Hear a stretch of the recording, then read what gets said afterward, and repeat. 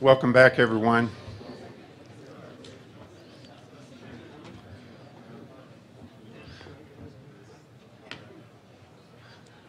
Okay, I think the first panel was an excellent lead-in to the topic today, and then we'll continue on with our next panel. I'd like to welcome everyone back from the break. I'm going to add a couple of uh, notes here. If you're on the webcast, you would, would please refresh your link. We've updated the uh, question link on that. So if you're on the webcast, update your link, and we will um, there'll be a way for you to submit questions. We have one question we've received and plan to address that later in the day at the wrap up as we have time, but that'll come later. So um, our next panel, panels uh, are up. So we'll start off with um, Fire Chief Bill Jones with the LA County Fire Department, who will talk about the LA County Fire Department's response to the Aliso Canyon event. So without further ado, Chief Jones. Thank you for being here.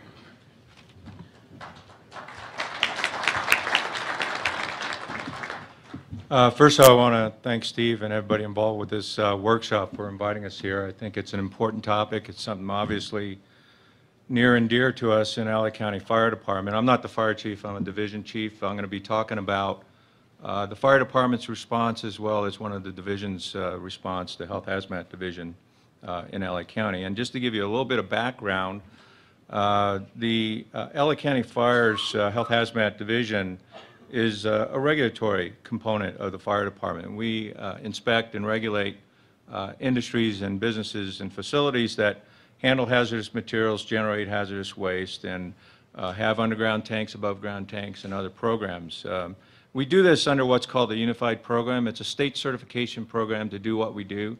Uh, we basically have six program elements that we regulate. Aliso Canyon is one of them, but we're dealing with the haz waste and the hazmat and the above and below ground tanks uh, and fire safety issues, uh, not what the wells, what's going on with the wells uh, below ground. Uh, in our division, we also have uh, folks that get involved with cleanup of these sites. We also have a criminal investigations component in our division and a very robust emergency operations section that works hand in hand with our fire station personnel on these kinds of situations. So uh, when we talk about LA County, just to give you some perspective, the LA County area has about, uh, well, over 10 million people. Uh, there's 88 cities there. It's over 4,000 square miles. And we're one of 30 uh, fire departments in the county of Los Angeles, the two largest being LA County and LA City. So looking at the map of LA County, if you haven't uh, got a perspective of where this uh, facility is, this is the location where that star is. This is the entire San Fernando Valley here. Here's downtown Los Angeles that somebody was mentioning. You could see from the hills above Porter Ranch here. Zooming in a little bit, what you have here is the uh, SS-25 uh, well that was leaking, and the line that's drawn from the well down about right here is about five miles out.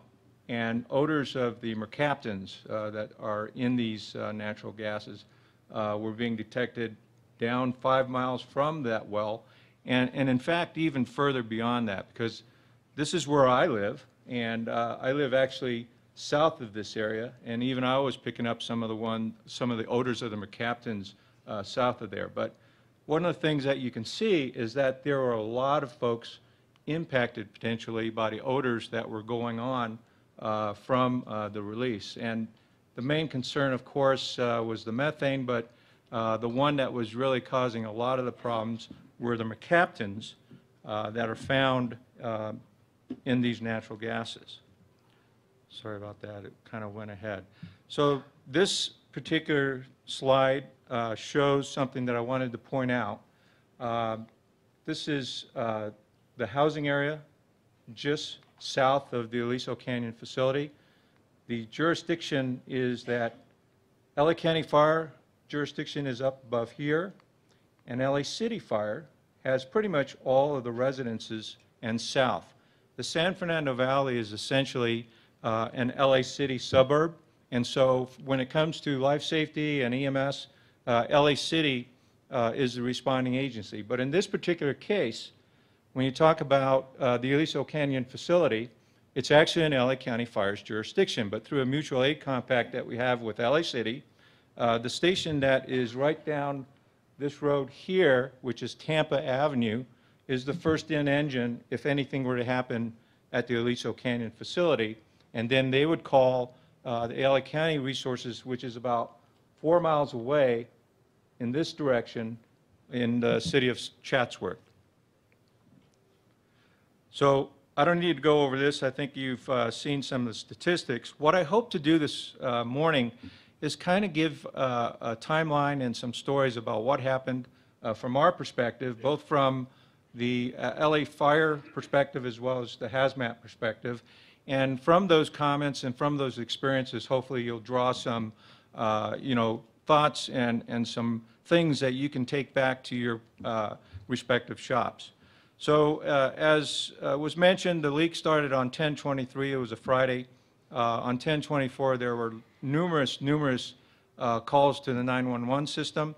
LA City Fire actually responded on that Saturday. They went up to the front gate, and they were told that they had a a- a downhole leak and that uh, they were looking at it, and uh, they hope to get it uh, fixed pretty quickly. Uh, They also made uh, a call uh, to LA County Fire Dispatch. And I want to play the dispatch itself because I think it's important to recognize that when this thing first started rolling out, there wasn't a heightened sense of concern. It was something that happened, something that they were going to deal with rapidly, and hopefully in the next day or two, it would be gone. So hopefully this works. Kansas County Fire. Hey, how you doing? My name is Ramon Marquez. Um, I'm with SoCal Gas. How you doing today? Good, how are you, sir?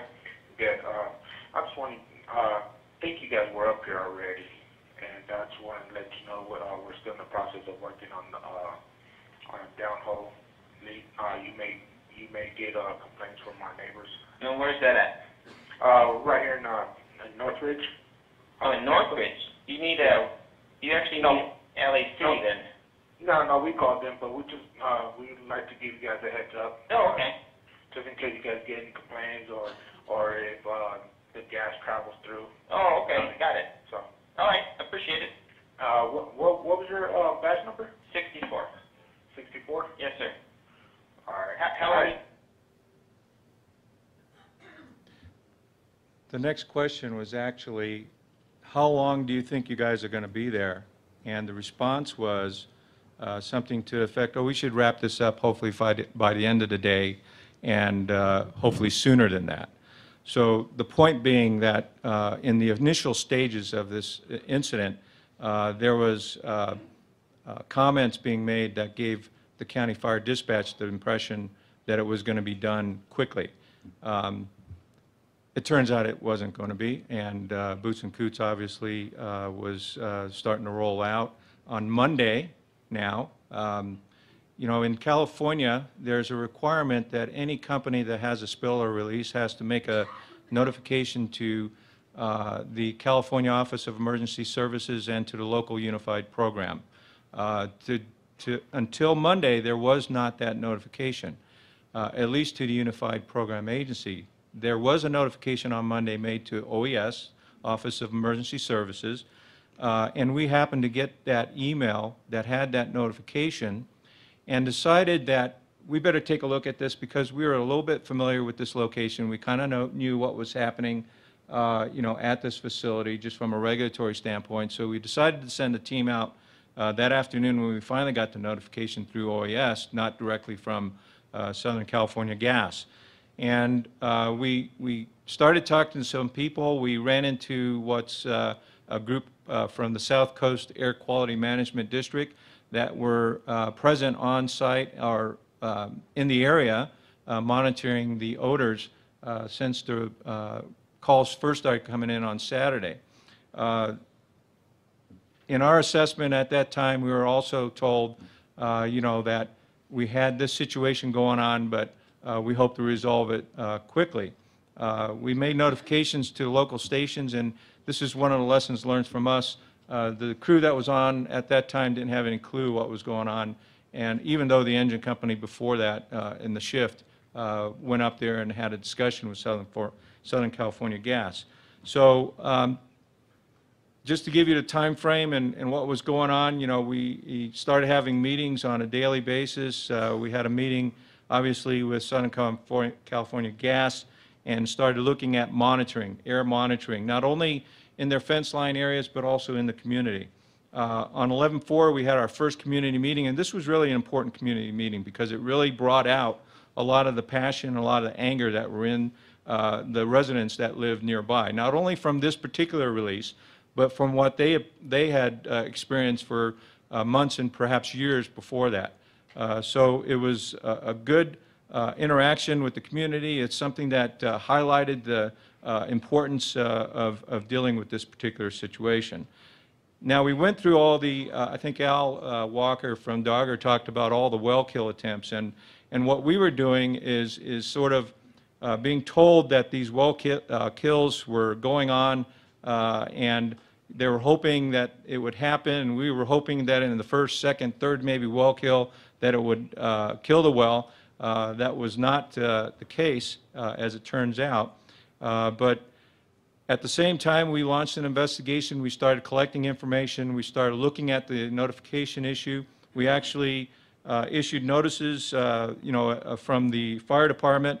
And, um, you know, I want to give you a sense that on a daily basis, we were talking about this situation. We were uh, talking to other people. We're trying to get a handle on all the different agencies that were involved uh, at this point and what their involvement exactly was, what direction they were headed.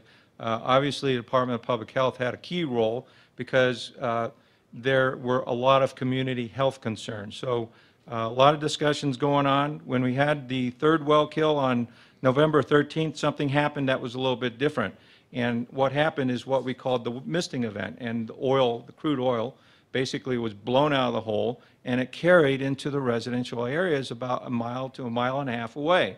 They didn't expect that to happen, but it did happen, and it coated some of the backyards and, and some of the houses with this mist. Now, from a, a a response perspective, uh, not knowing uh, what was going on was really important to point out because uh, this happened, and we had lots of complaints from neighbors at that point, and we weren't really sure what we were dealing with, but we had to jump on it. We had uh, an, a, sort of a little mini emergency response within the emergency response, and, and essentially, if, uh, eventually, we found out what it was and we dealt with it.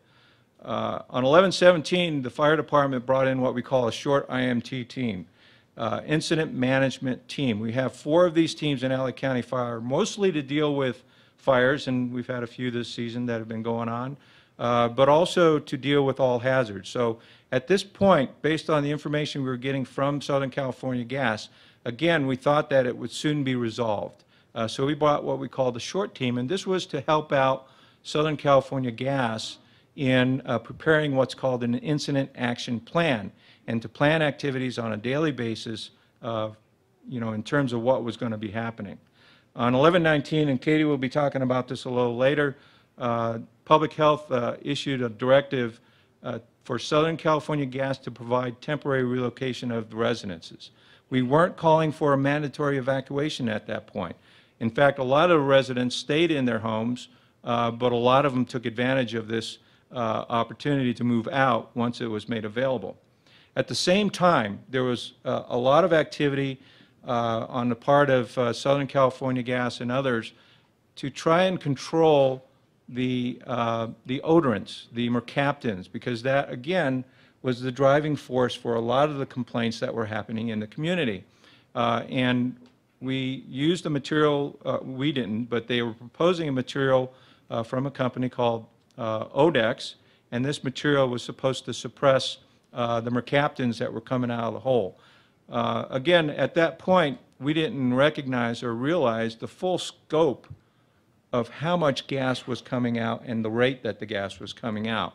Uh, And uh, once we started getting those videos with the uh, infrared, it was very clear that this was not a good idea. First of all, because of the amount that was coming out, but secondly, because we were trying to find out what was in this uh, Odex, and it turned out that it had some solvents, and uh, we didn't think pumping out that much suppressant in a relatively large area to suppress the odors uh, was a good thing. And from the uh, residential perspective, using this material to cover up something that was bad with something that was also potentially bad was just not a good optic.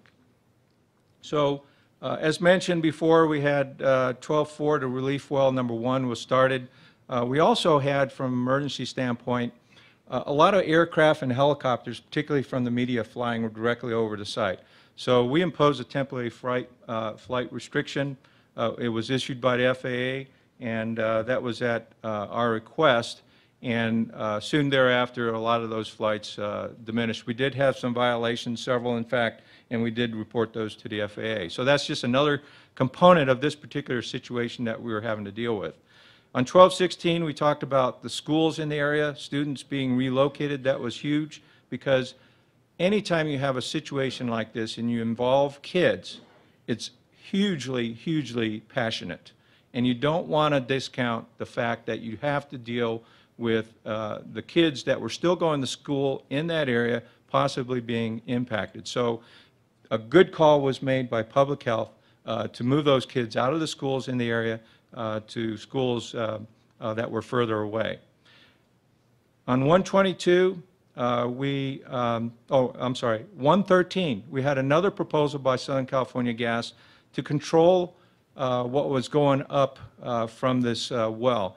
And the idea was to try and capture as much of the methane up at the wellhead that they could, and then pump it into either uh, a combustion uh, mode or, or store it and, and then treat it and then use it eventually.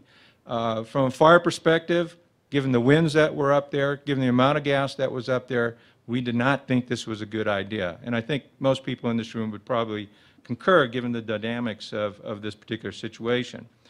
On January 22nd, we went into unified command, and that's full-scale IMT unified command. And I'll tell you a little bit about why we didn't do that initially uh, in a few moments.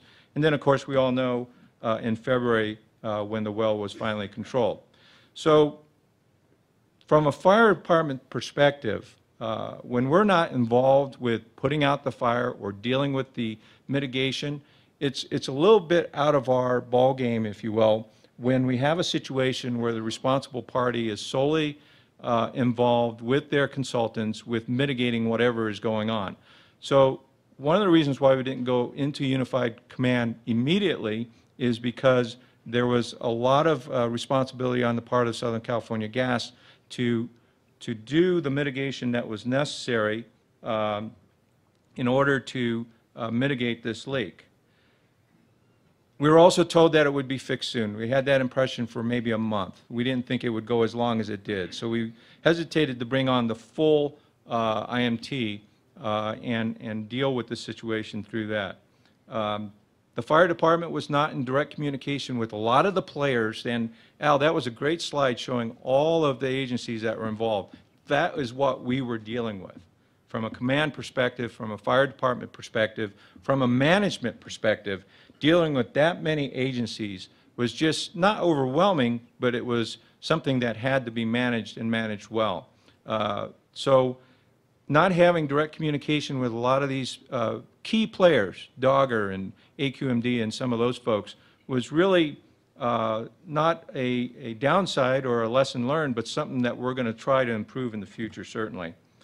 Uh, So in terms of why did we decide to go into unified command uh, midstream? One of the things that we noticed is that there were all these agencies that are out there doing their thing, and a lot of them were doing things independently of anybody else, and they weren't telling anybody what was going on, and that's a huge flaw, uh, and, and something that, that we needed to get control of. And by going into unified command, we had a little bit more control of that.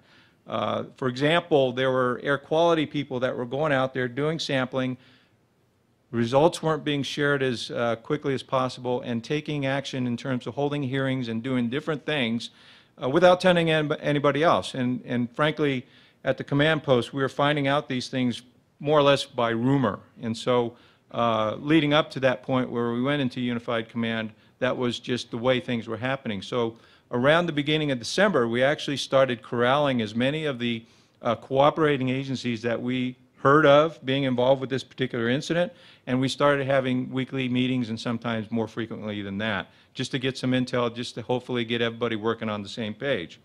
There were hundreds of samples being taken. I mentioned something uh, earlier on where Southern California Gas went into a voluntary uh, sampling mode, but there were also lots of samples being taken by the South Coast Air Quality Management District. There were samples being taken, and this is air quality and downstream type of samples uh, being taken by uh, private vendors that were being hired by uh, some of the residents, by other entities that were taking these samples.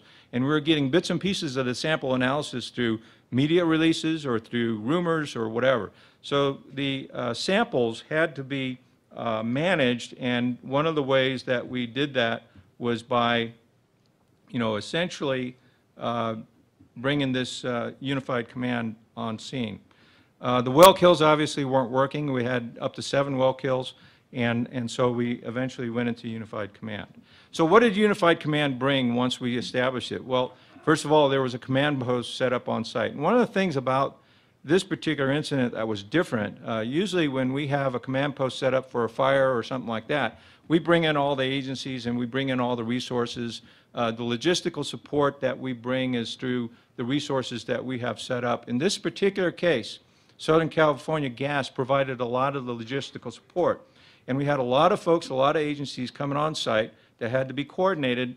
And, uh, you know, we were working out of a small trailer in the beginning, and that, we said, you know, we need bigger trailers and we need more room. And the next morning, there were two big trailers there. And then we were parking in this dirt lot, and it was raining and it was muddy, and we said, boy, that's, that's pretty terrible, you know, that, that's going on. And, and the next day, they paved the whole lot. I mean, that's the kind of logistical support that Southern California Gas freely did uh, under this kind of situation. And what Unified Command brings is obviously all of those components of logistics and safety, uh, coordinating the cooperating agency, uh, you know, solidifying and and formalizing the planning events, because planning is critical in any kind of big disaster, and you have to put all of the responsible entities and who the key players are uh, within what we call an incident action plan.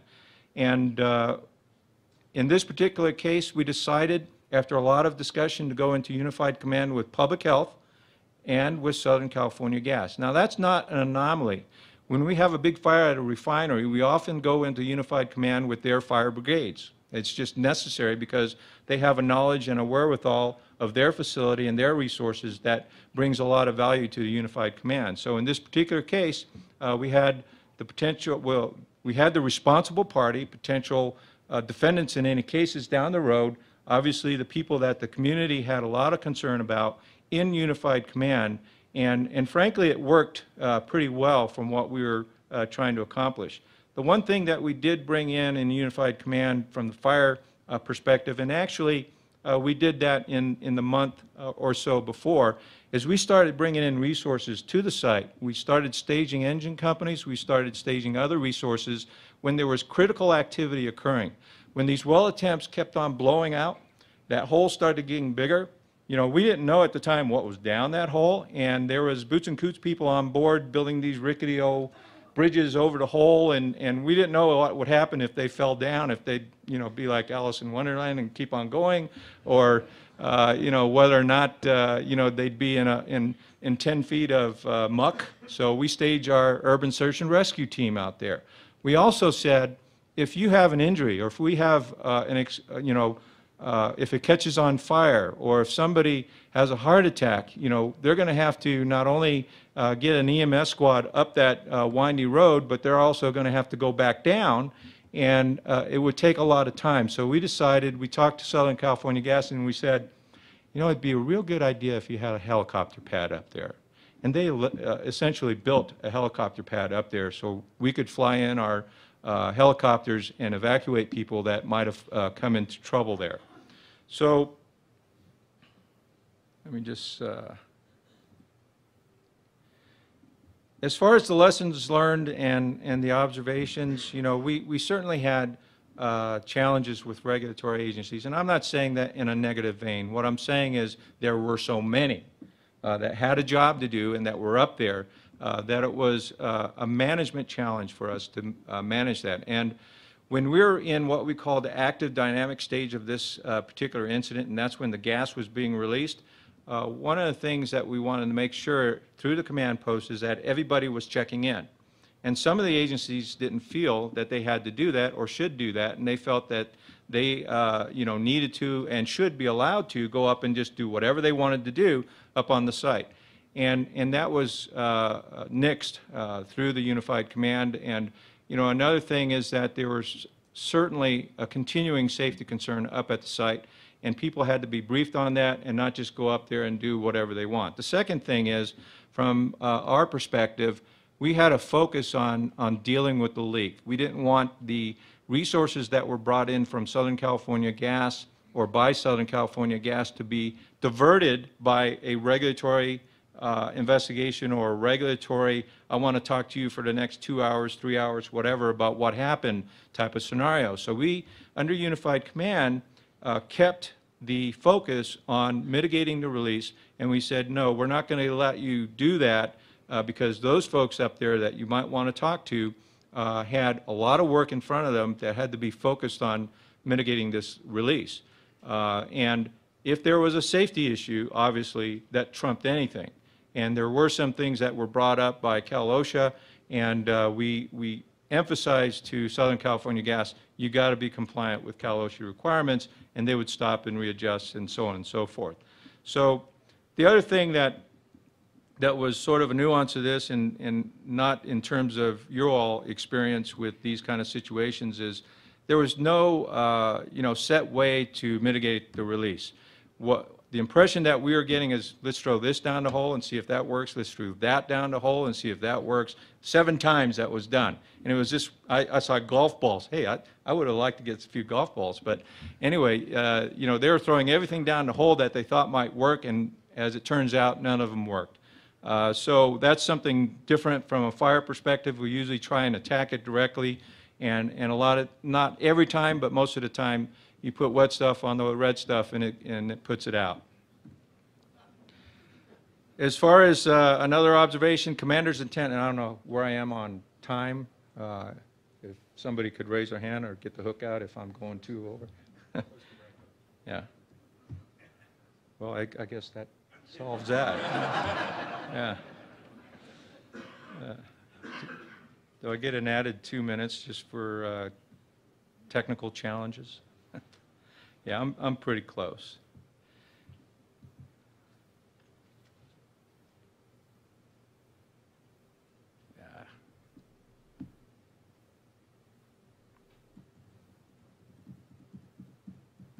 Okay, so just uh, to kind of uh, start wrapping up here, one of the things, uh, again, that we uh, noticed, um, public information, I- uh, I'll make mention of that, was, was really big. And there was a lot of agencies putting out public information, and uh, sometimes the uh, message was different, sometimes it was uh, not consistent with uh, what was being put out by Unified Command. So Unified Command brought all that together, we formed the JIC, and that started working uh, a lot better.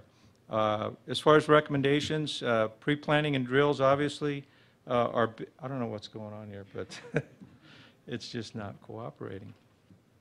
Uh, Pre-planning and drills uh, are are really important, and I bring that out because uh, one of the things that uh, is going on in California is we have a huge initiative uh, to deal with uh, refineries and the incident that happens at refineries, and one of the key components of a reg package that is actually coming out today is pre-planning and drills, and not just with fire brigades, but also with the regulatory community that will obviously be responding to these kind of incidents too. The same thing can uh, be applied uh, here. As far as uh, uh, cooperating agencies, uh, I think it's really important that we, we talk about this from the perspective of all the agencies that were involved and how we can communicate better. Um, From our perspective, one of the, one of the programs that we oversee is called CalARP, the California Accidental Release and Prevention Program, that has, has to do with risk management at high-risk facilities. And because the definition of stationary source in federal uh, regs precludes us from, uh, you know, enforcing stationary sources like this, uh, and because it's not defined as a stationary source, there's actually a preemption, it keeps us out of the domain of the CalARP universe that we can regulate. And I think that might be helpful to look at that from the standpoint of us being involved with regulating these kind of facilities. From the fire, fire chief standpoint, he's very clear. He wants more local involvement with these kind of facilities. More local involvement, not, not to get into what DOGGR is doing or what some of the other agencies are doing, but doing what we do in terms of fire prevention or CalARP or whatever the case might be. We think it's uh, really important. There's a lot of bills, as mentioned, uh, going through the California legislature. Uh, We're still, uh, you know, trying to coordinate uh, our comments and our response to a lot of those. I think Al mentioned earlier about the risk management component there. We have risk management folks and experts in our division and in other unified program agency throughout the state of California, and and they're uh, very much in tune with a lot of what is being proposed in the regulation, so I would recommend that we have that discussion. Uh, I think also, in terms of uh, general duty, uh, we're looking at that as an enhancement for enforcement purposes. Uh, Also, um, you know, I think uh, Al showed that slide with the three Cs. That was, that was something that we developed at the command post under Unified Command because whenever we were talking about what needed to be done, uh, the engineers and everything immediately started diving into, well, we have to do this, this, this, and this. And that really got clouded in terms of what was being messaged to the community. So when we came up with those three Cs, it was really uh, a nifty little tool to communicate not only within Unified Command, but with the community at large, too. So think about those kind of things uh, to communicate more effectively, clearly, and simply to not only the responding agencies, but also to the community at large. And, and lastly, I just wanted to say, uh, you know, from a fire perspective, uh, there's a story about Abraham Lincoln, and he was told uh, he had to chop down a tree, and he was told he had five days to do it. And what he did is he spent three days sharpening his axe and two actually chopping down the tree. And from a fire perspective, it's really important to get those three days of training and, uh, you know, exercising and drills or whatever the case might be prior to actually having to deal with that scenario. So uh, I thank you again for inviting me. I hope I didn't go too much over time, and I'll, I'll wait till later for questions. Thank you.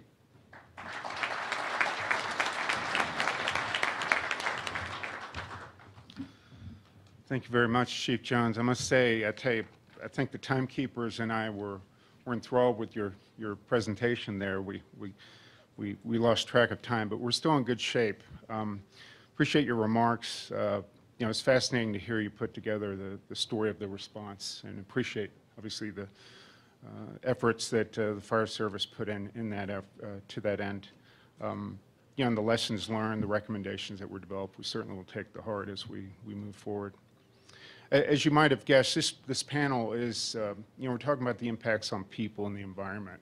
It's a very important component of, of the conversation on, on safety. So um, we, we cover the gamut uh, in that regard. Next, we'll have a speaker from the Kansas Corporation Commission. You may or may not be aware, Kansas Corporation Commission is one of our state partners. It oversees pipeline safety in the state of Kansas.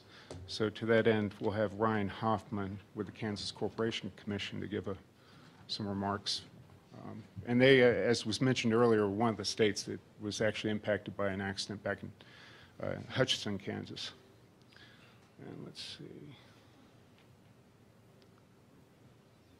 Where is? Oh, there we go. There we go. Got that right.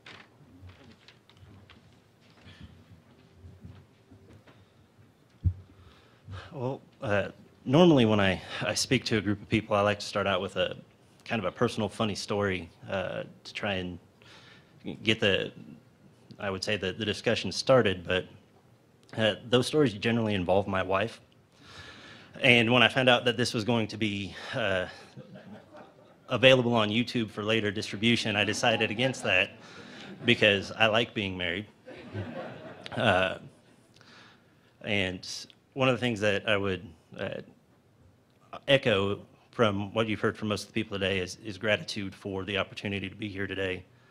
Uh, and I'd like to thank PHMSA for that. I'd also like to thank DOE for, for the prior two days. And uh, I would be remiss if I didn't thank uh, StatesFirst for the opportunity to be here on Monday and, and work on this issue with other states. Uh, I would also be remiss if I didn't thank uh, Leo Haynos, who is the, the director of our Pipeline Safety Division, who uh, kind of volunteered me to do this. Uh, and he did that simply because he said, you know, gas regulation is, is under your purview, not mine. So storage, I should say. So why don't you, you do this? You'll be in Colorado anyways. And so Leo, if you're watching and listening, I just want you to know how grateful I am. And I'll, I'll, I'll do my best to, to return the favor.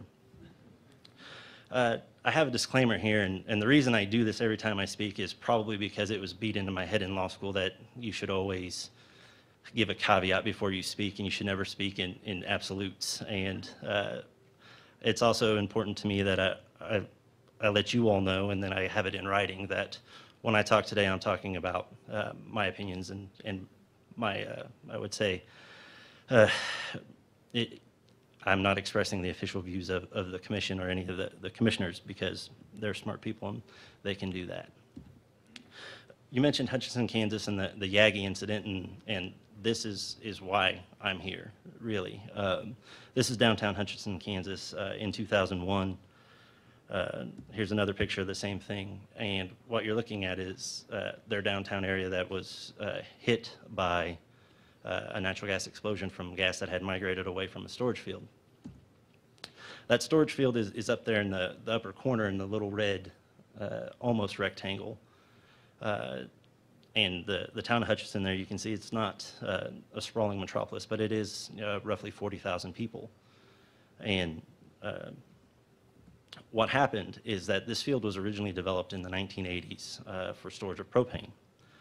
Uh, That propane uh, storage operation was abandoned, the wells were plugged. Then in the early 1990s, uh, the cement was drilled out and the field was con- converted to natural gas storage. And there were approximately 70 wells, 62 of them were in use at the time of the disaster. Uh, The field could hold about 3.5 billion uh, cubic feet of gas at 600 PSI. And at the time, it was the only natural gas storage facility, uh, salt cavern facility in Kansas. And I would also like to point to yesterday, there was a, a really good discussion of the history of this event, so I won't go too much into it and know that when those materials are available, uh, you'll be able to look it up there. So what happened uh, on the morning of January 17th, there were two explosions in downtown Hutchinson, and, and two of the businesses were engulfed in flames fairly quickly. Uh, A lot of the other businesses suffered some sort of damage that would result from the explosions, but uh, thankfully there were, there were just minor injuries. Uh, Originally, the, this, the officials believed that the fire was a cause of a, a natural gas line leak. And uh, as they found out that when they put something wet on the something red, the fire wasn't going out. So there had to be something else going on. And uh, what they found uh, later on was they were notified by the, the storage field operator that they had had a, a, a massive pressure drop at one of their, their jugs.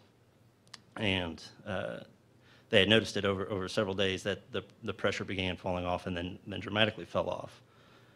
Well, later that night, uh, around the town of Hutchinson, gas geysers appeared, and they would spew gas and salt water into the air, and they were finding their way to the surface through abandoned brine wells. The Hutchinson area is, is famous for its salt, and it's fairly shallow, so it's easy to mine, and it's been going on for a long time. So there are a lot of wells out there that maybe were plugged, or if they were plugged, they were plugged to the standards of their day, so they weren't uh, able to withstand the the pressures that they were encountering.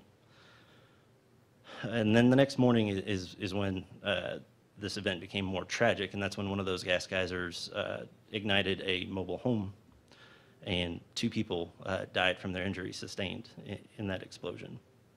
All in all, uh, 143 million MCF of gas uh, were lost from the storage site.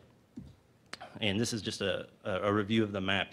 The you can see the, the downtown area, I hope, uh, where the explosion happened. And then there's a, a blue rectangle there where people were evacuated. That was where the, the mobile home uh, park was located and also where a lot of the, the geysers appeared. So what happened? It's, it's much kind of like this, this scenario right now where there was an incident and, and now there's a response. Well, in Kansas, after this incident, our legislature uh, passed a bill. And they said somebody needs to regulate this. And what they did is they established a, a two-pronged approach. And for that, they said, the, the KCC, you're the oil and gas division, you handle the porosity gas storage, and uh, the Department of Health and Environment was already dealing with uh, salt solution mining and, and storage in salt caverns. So they said, we want you to, to do that. And in the process, they did allow for a two-year moratorium on storage in embedded salt. And uh, we adopted our regulations uh, in 2002. Uh, KDHE followed the next year. And uh, a little side note there that to date, Yaggy is still the only natural gas uh, cavern storage facility in Kansas, but it's not operational, uh, as we heard yesterday, and it, it would not meet the permitting requirements of the regulations, and that the, the brines are current, or the, the caverns are currently filled with brine. So that leads us to, to this map, and this map shows the, the 17 storage fields in the state of Kansas. And I just would point out that you'll see that there are, are red numbers and blue numbers. And the blue are the intrastate fields and the red are the interstate fields. And the reason that dis- that distinction is important will be more evident later. Well, I'm going to walk you through our regulations, and I'm going to do this really quickly because even though I'm an attorney, I, I don't like reading regulations. And I think it's even worse trying to read them to people.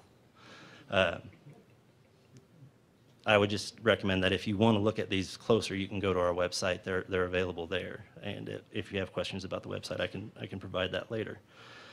Two of the, two of the terms that we define are actually underground porosity gas storage and uh, what, what a storage facility is. And I would point out that uh, the storage facility definition is important, especially in light of, of where things are headed nowadays, and that it, it includes the wellbore tubular goods, the wellhead, and any related equipment. So you can see that it- it's more than just the, the storage reservoir. Uh, We have a provision that if an operator files anything with FERC, they need to file it with us. And the, we have a provision for provisional permits. The reason we did this is because we had storage in place when the, the statutes were passed, but we didn't have regulations. So we needed to have a, a process in place to issue permits to people uh, so they could continue operating their storage fields and uh, work towards getting permanent, uh, per- permanent uh, operating permits. And 103 outlines that. That's a three-page uh, regulation. I, I would recommend you look at that if you're really interested in, in what it takes to obtain a permit in Kansas. I just probably could talk about it for 20 minutes if that were the, the case. So uh, I'll give it a short shrift here.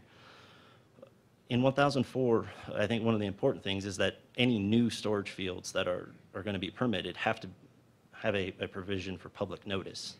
And you see that there's an opportunity, opportunity for a, a protest and, and notice for a hearing in this. So uh, there are also uh, other notification requirements.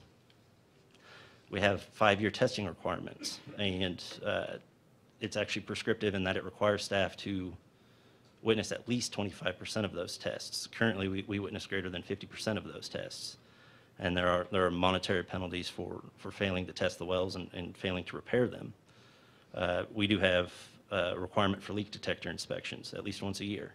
And the very bottom bullet there is interesting in one sense, one sense because it's not unusual for our regulations to say that each day of a continuing violation represents a separate violation, meaning that if it's a $500 penalty, it's, each day it's $500.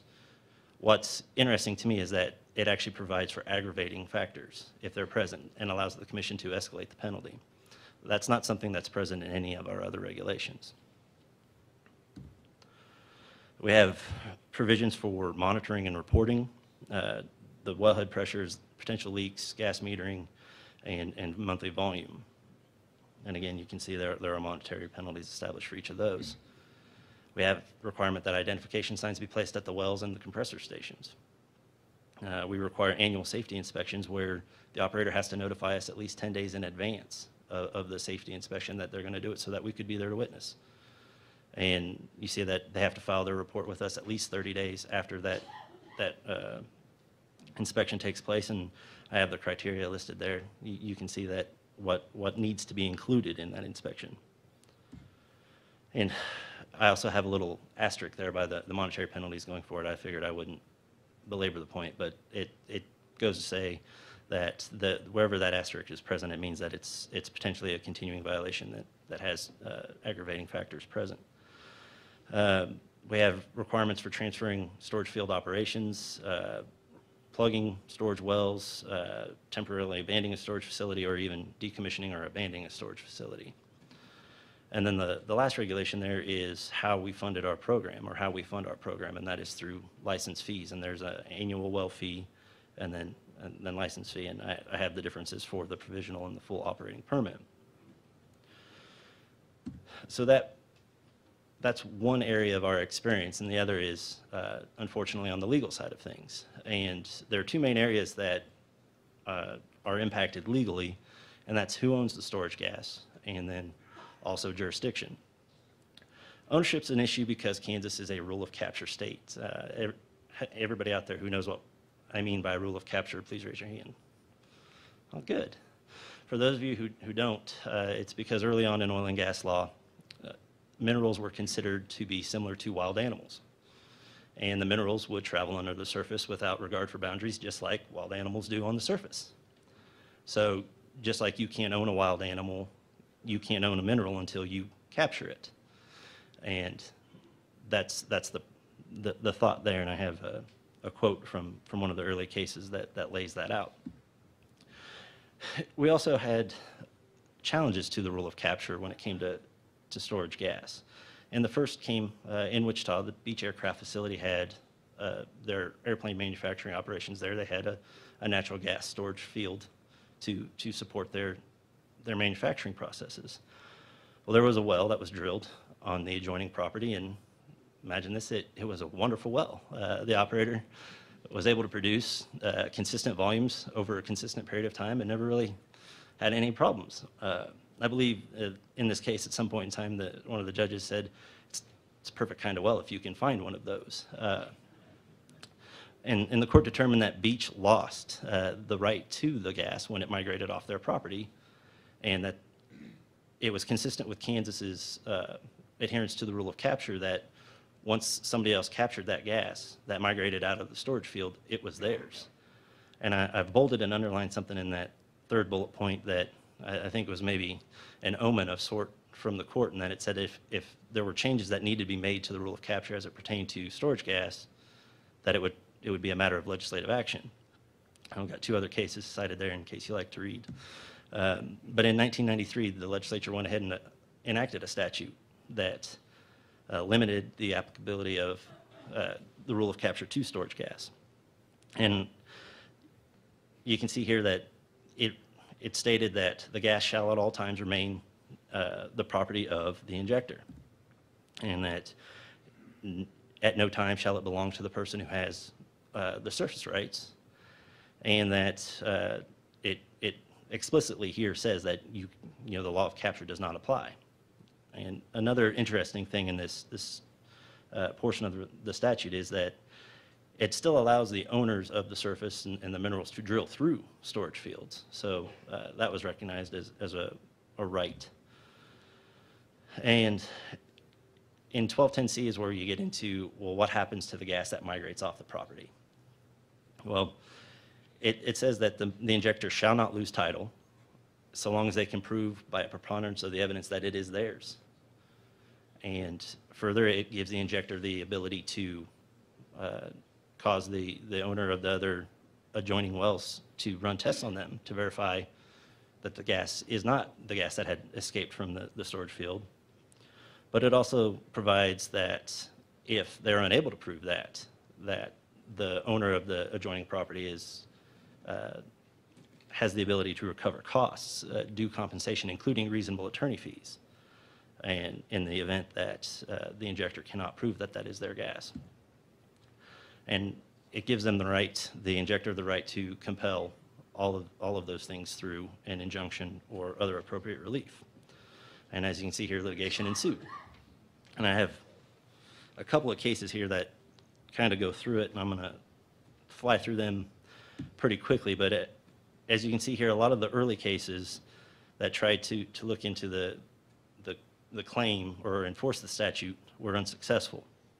Uh, In, in this one, it was because uh, the operator was barred from recovery due to a statute of limitations. Uh, uh, And in the next case here, they lost it because they couldn't prove that it migrated uh, after the effective date of the statute. Then came the, the Northern Natural Gas versus ONEOK Field Services here. And Judge Schmisser uh, in Pratt, I think, had a, an unenviable task in the sense that uh, gas had migrated beyond the adjoining properties. And it was, well, the determination needed to be made, well, who owned the right to produce that gas? And the judge looked at Kansas case history and said, you know, the statute says adjoining. We know what adjoining means. If it goes beyond the property that is directly uh, touching the, the gas storage field, then it's, it's no longer the owner of the storage field.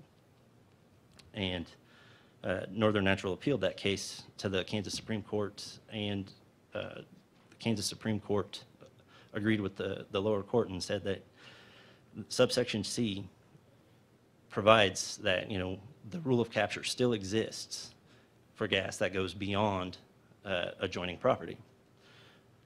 So another case, and one that is probably more pertinent and, and even relevant today, is the, the CIG versus Wright case. And I, I've got a little timeline here, and uh, the most important thing is that to think about this in the context of when it happened. I, I mentioned before that we had the process of provisional permits, and then you had to convert that provisional to a full-time authorization. Well, in this matter, uh, the, the full-time permit had never been granted. And it got to a point where uh, our staff at the time uh, had even threatened to potentially shut in the storage field because they were not meeting the, the requirements as they saw fit. And I think at that, that's the point in time when the operator said, that's enough. Uh, We're going to go to court. And the court, in this case, really looked at our regulation in two aspects, and that was permitting and safety. And they said that, you know, permitting involves preemption issues that are related to FERC's authority, and that safety uh, uh, goes to, to Department of Transportation under the Pipeline Safety Act. Uh, Our legal team at the time put uh, forth several arguments regarding what exactly pipeline and facility meant in those, uh, the way they were used in those acts, and uh, they were thoroughly uh, taken apart by the court. And the, the court found that FERC has exclusive jurisdiction over the rates and facilities in interstate natural gas, for interstate natural gas companies. And that's, that's all operations. And then you can see also that they said our, our regulations were plainly focused upon regulating a field that's exclusively occupied by FERC's permitting authority. And then likewise, the, the Pipeline Safety Act uh, forbid any state uh, safety regulation over pipeline transportation or pipeline facilities. And in the case, uh, I mentioned we, we argued pipeline and, and facility and what they meant. Well, this court found that storage is part of that facility, that, that um, essentially any, anything that the, the KCC did in their regulations was expressly preempted because it was related to safety of, of those things that are already covered by the Pipeline Safety Act. So that brings us back to this map. And, and what you have here are uh, the, the fields as they, they are today. We have six intra-state fields, 102 wells, and then there are uh, 11 fields with roughly 725 wells that are interstate. And, and what that means for all intents and purposes is that the regulations I- I've outlined for you apply to those 102 wells, and those are, are the, the fields where we enforce those regulations. And, uh, Again, I'd like to, to thank you for the opportunity to, to speak to you today, and uh, I guess I'll, I'll wait to see if there are any questions later on.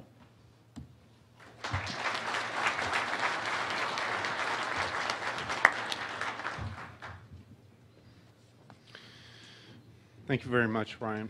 I tell you, that last case you mentioned is one that's been a topic of conversation for years with the- the Office of Pipeline Safety. Appreciate your discussion on the various uh, cases that have uh, come up in Kansas.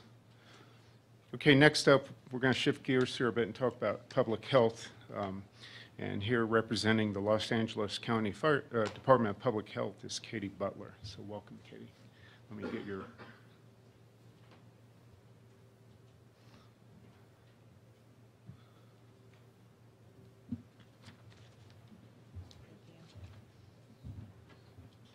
is that possessed? I think. Good morning. My name is Katie Butler. I am an environmental epidemiologist with the Los Angeles County Public Health Department. And um, I consider myself very fortunate. I work with a unique team of public health workers uh, consisting of a medical toxicologist. We have environmental epidemiologists on our team, public health nurses, um, other medical doctors, and community health workers um, that were all really critical in our public health response to the SS-25 incident. And one of our priorities of our, our team at LA County Health is to really take a close look at communities that are in close, you know, close proximity to industry and really ask ourselves what kind of policies, what kind of regulations um, can we leverage in order to protect the health of people in, in Los Angeles area. Um, Chief, Chief Jones mentioned we have 11 million people in Los Angeles, so that's a tall order. We have, in our eyes, 11 million patients that the health department addresses on a daily basis. So thank you for, for inviting me here today to, to share the public health perspective. And um, I- I'm going to focus on our public health response activities both during the SS-25 incident um, and after the well capping, so that, um, you know, to date, you can get a full update on our public health activities. So we were notified of the gas leak on October 28th, and that it had reached the community and people were being affected by the odors in the community. So at that time, we reviewed the, the available air monitoring data to, to understand what we were dealing with here in terms of um, chemicals that we're concerned about that could be reaching the community, um, what are the health effects that we might expect, and we really narrowed it down to these priority chemicals of concern in the initial days of the leak.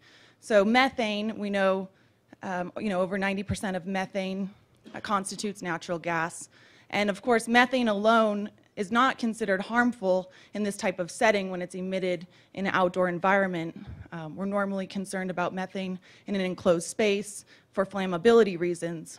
However, um, it served as an important indicator for us uh, throughout the incident for other chemicals that could be in this complex gas mixture and for chemicals that we could not measure. So the sulfur odorants, um, as many of you know, our noses can detect them before our laboratory instruments can detect them. So throughout the entire incident in the community, we did not have one measurable level of a sulfur odorant. They were all below laboratory detection limits. However, the odor was so persistent, and, and that was the main constituent of concern causing the health effects. So that in itself created a very difficult public health messaging challenge um, because something we can't measure, we can't quantify, is affecting people's health. So that's why methane was important as an indicator for us. Um, hydrogen sulfide was something that we identified early on as a concern. Um, however, it, it, did not reach levels in the community that um, posed a health threat at all, and it, it was very rarely detected. So um, even though in the initial days that was something we had a close eye on, that ended up not posing a concern for us. And then we had benzene and other volatile gases, um, you know, that come along for the ride. And from our toxicology point of view, benzene, even if it is present in small amounts, is something that we want to keep a very close eye on because it's a known cancer-causing agent um, linked with you know, causing leukemia. And so um, benzene is something from the start that was routinely monitored for, and we, we were able to collect, synthesize all of that data um, that the gas company and the air agencies were collecting, and our responsibility was to interpret that and provide the health um, interpretation to the public. And so we did that for the first time at the November 4th community meeting, which was a very important meeting for us to really understand how people were being affected by the odors on a regular basis, um, even in, in those first few days. Um, and, and so after that community meeting, we realized we needed to very closely monitor this situation to gauge how long it would take to stop the flow of gas. Because at this time, we, we were under the impression that it would only take several days or a week at most. Um, and, and the symptoms people were experiencing, even though they were severe for some, maybe they could be tolerated for that week duration. But if it went much longer, we knew in our minds that we would have to increase our response and we would have to do something uh, more to protect the people in this community. So to give you an idea of the symptoms that people reported at that November 4th community meeting and the symptoms that we know are associated with sulfur odorants. Um, the most commonly reported symptoms are headaches, nausea, uh, dizziness. Um, nosebleeds is something that was being reported as a result of this incident. However, it's not known to be associated with sulfur odorants. So the, the animal and human studies we have on the sulfur odorants do not indicate that nosebleeds um, are, can be a result of, of um, smelling the odor. So that also led us to believe that um, we are dealing with a complex mixture here, and, and there could be some uncertainty there um, in our conclusion. Um, respiratory difficulty, like um, chest tightness, um, throat irritation, also was very commonly reported, um, eye irritation, and, and coughing. So to give you an idea of the extent of the symptoms that were reported to our office, here's a map that we, we created in the midst of the incident um, that represents just over 500 residents who called our office to report a symptom they believed was related to the gas leak. And at this point, we really had to ask ourselves, what can we do to protect the health of these people experiencing symptoms with really no um, end in sight of the gas leak um, in, in mid-November. And you can see here on the map that the symptoms were reported very consistently out to a five-mile radius.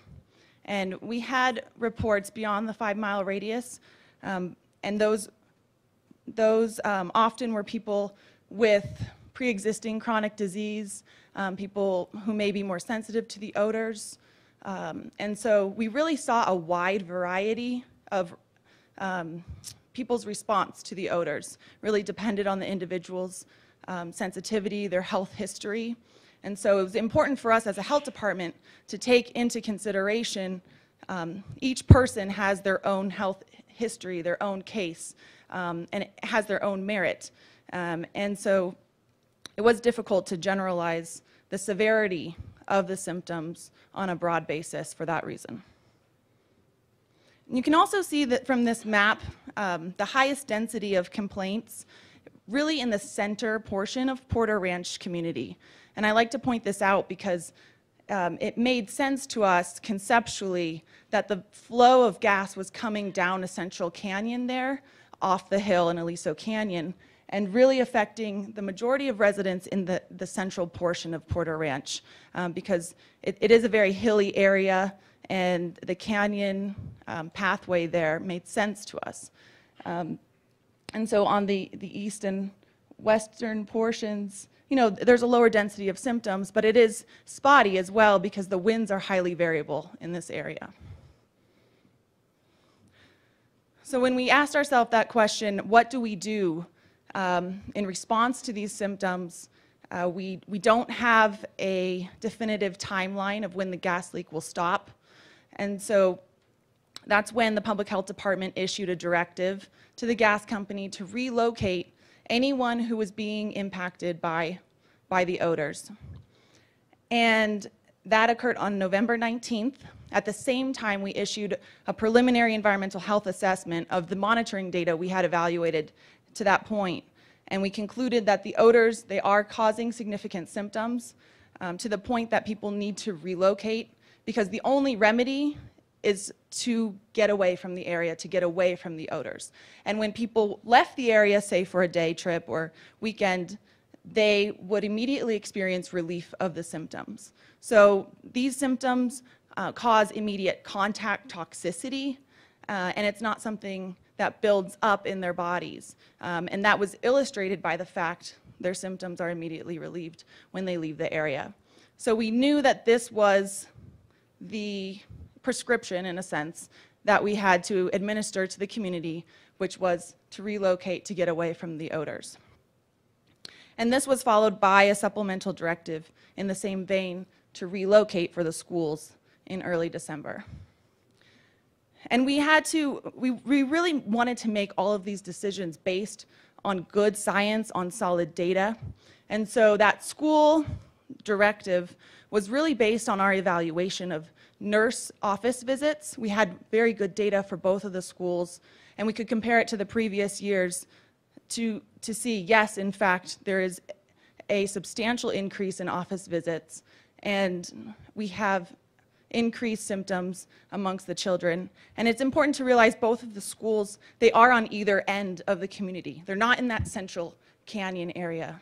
So um, the odors were more fleeting, and, and I think that's part of the reason why they weren't a part of the original directive.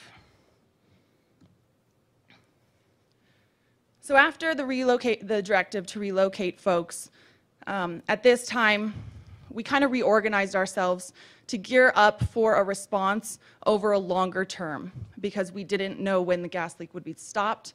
And so um, actually, thanks to a lot of the groundwork that Chief Jones laid in coordinating agencies at the local and state levels, we were able to gather together a team of air and health agencies and um, come together to identify what do we need to monitor for. Remember, we had our short list of chemicals of concern, methane, sulfur odorants, and benzene. But now we need to gear up for a longer term response. We need to really make sure we understand what's in the natural gas mixture that's being emitted. And so this, and, and exactly the extent of it. So as a group, uh, the multi-agency team, we decided how can we strategically place the monitoring locations so we can get good coverage? Um, how can we ensure we meet data quality objectives so we can accurately assess health with stricter laboratory reporting limits? and then expand the anal analytical list of chemicals. Because remember, this gas facility is unique in the sense that it was previously a crude oil extraction reservoir. So we have now a longer list of chemicals of concern from our public health perspective of material that could be emitted from this field. So we're not just dealing with natural gas, but also crude oil and possibly the drilling muds that are being ejected out for each of those well kill attempts. And that was evidenced by the misting event um, that Chief Jones mentioned uh, December 13th. So we wanted to make sure we were really um, understanding the full list of chemicals that could be related and then also collecting samples over a time period, a 24-hour time period, as opposed to an hour, so that we can get a better understanding of that long-term exposure people might have. And it was a very extensive monitoring effort by all of the agencies and the gas company. Daily measurements were being collected um, throughout the community from dozens of stations, from dozens of sampling points, um, including the schools. And uh, it, was a, it was a great team effort by the local agencies, LA County Fire Hazmat and Public Health. They both conducted random spot checks of the gas companies' uh, field sampling protocols um, so that we could make sure we had consistent methods out there in the field. Um, and, and then in the end, we were able to synthesize the data. And again, that's our public health uh, department's responsibility is to interpret all of the findings.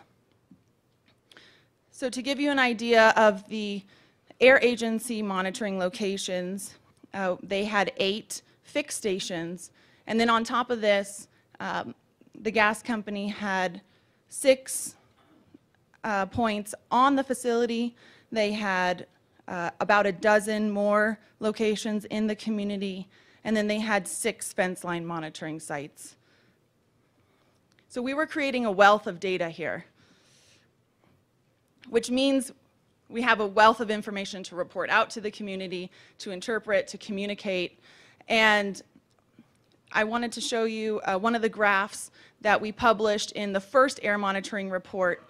Um, once we were in that unified command structure, uh, we were much more disciplined, and there was a, um, a better vehicle for us to create weekly reports of all the air monitoring results.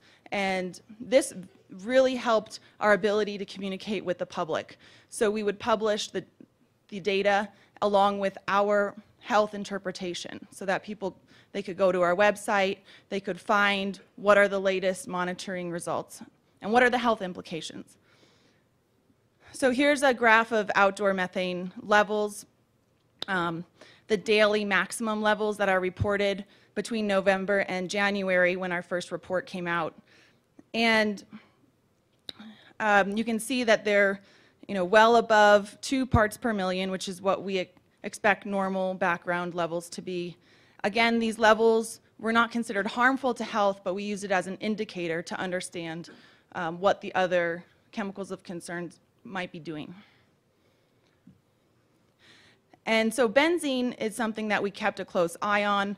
Um, here you can see the highest benzene levels were in early November, and that's when it went from a leak to a full blowout. So it made sense to us that we saw the highest benzene levels there.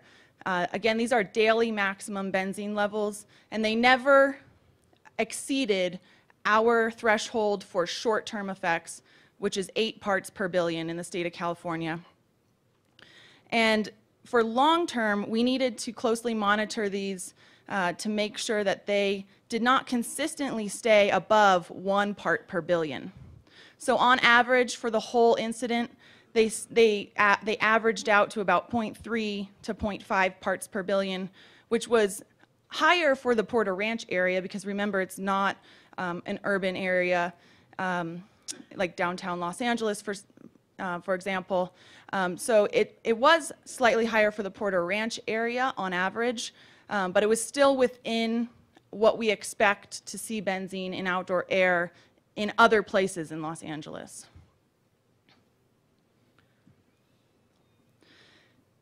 And an important piece of the expanded monitoring plan was to test for the full list of chemicals that could be related to crude oil, like metals, like the black soot material, the polycyclic aromatic hydrocarbons, things that at, at low concentrations have the potential to be harmful, and understand if those are also being emitted from the well.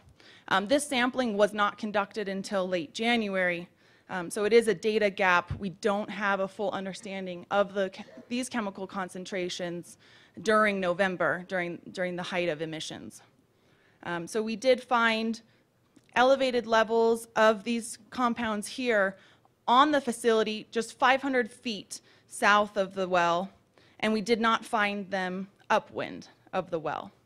So that told us that these are coming out um, because they were on site. The, the purpose of these samples was really source attribution um, as opposed to estimating health effects in the community.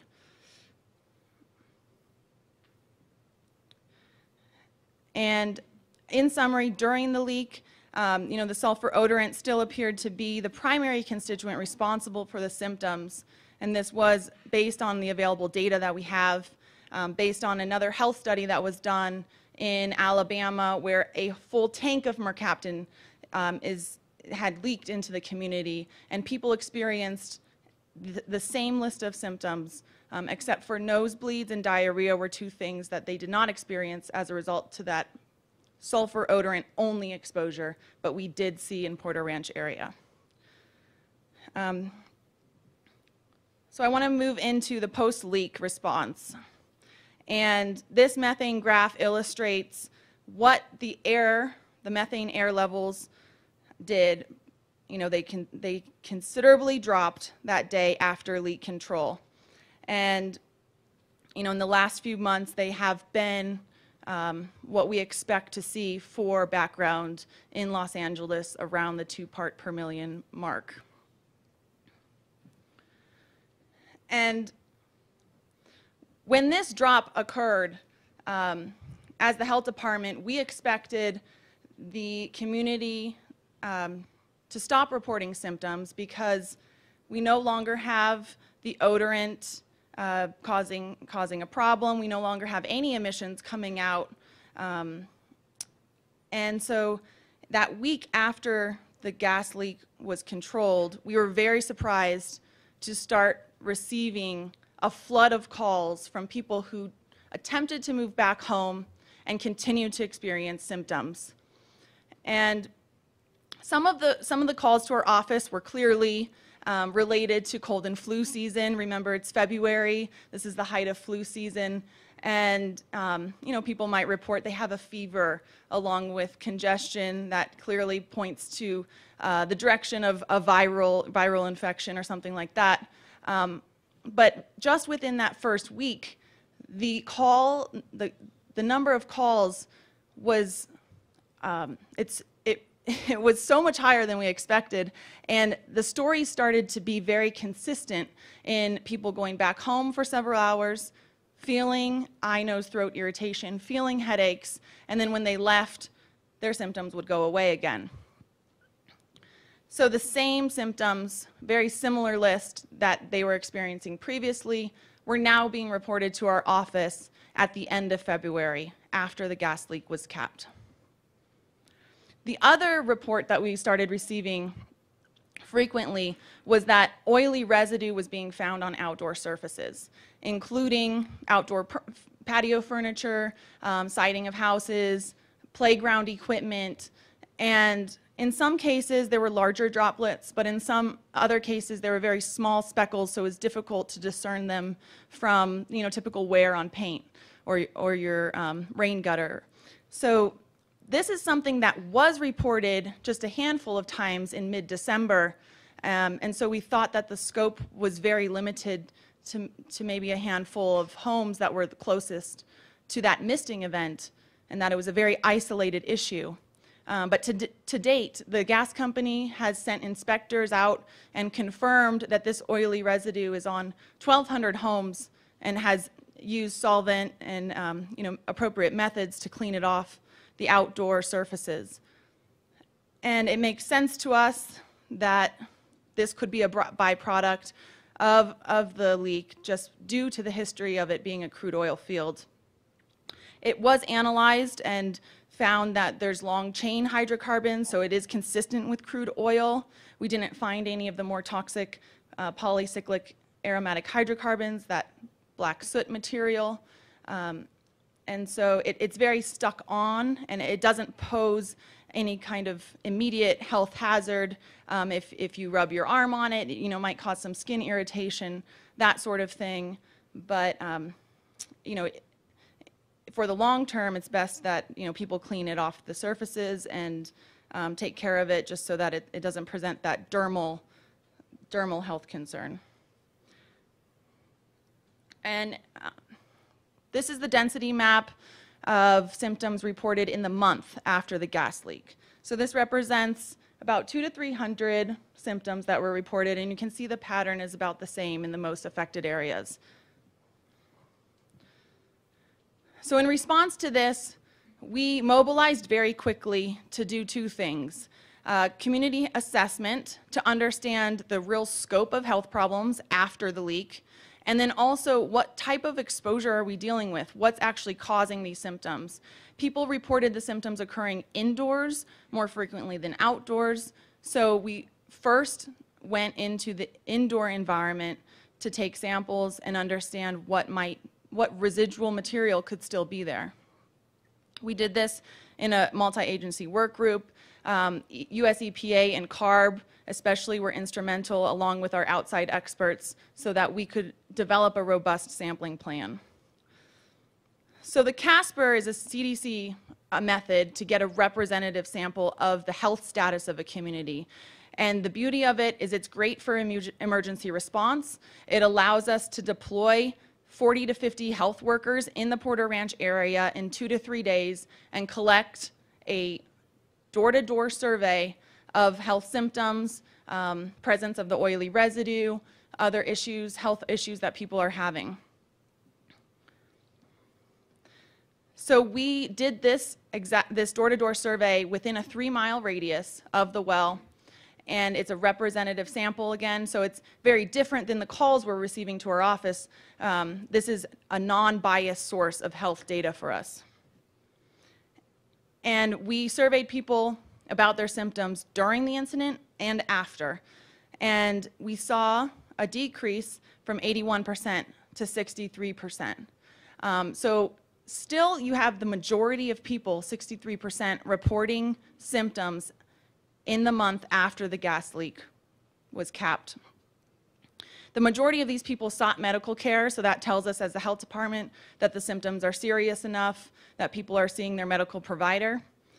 And again, the same pattern was happening where people would leave the area, their symptoms would be um, lessened or diminished um, when they leave the, the, their home or the Porter Ranch area.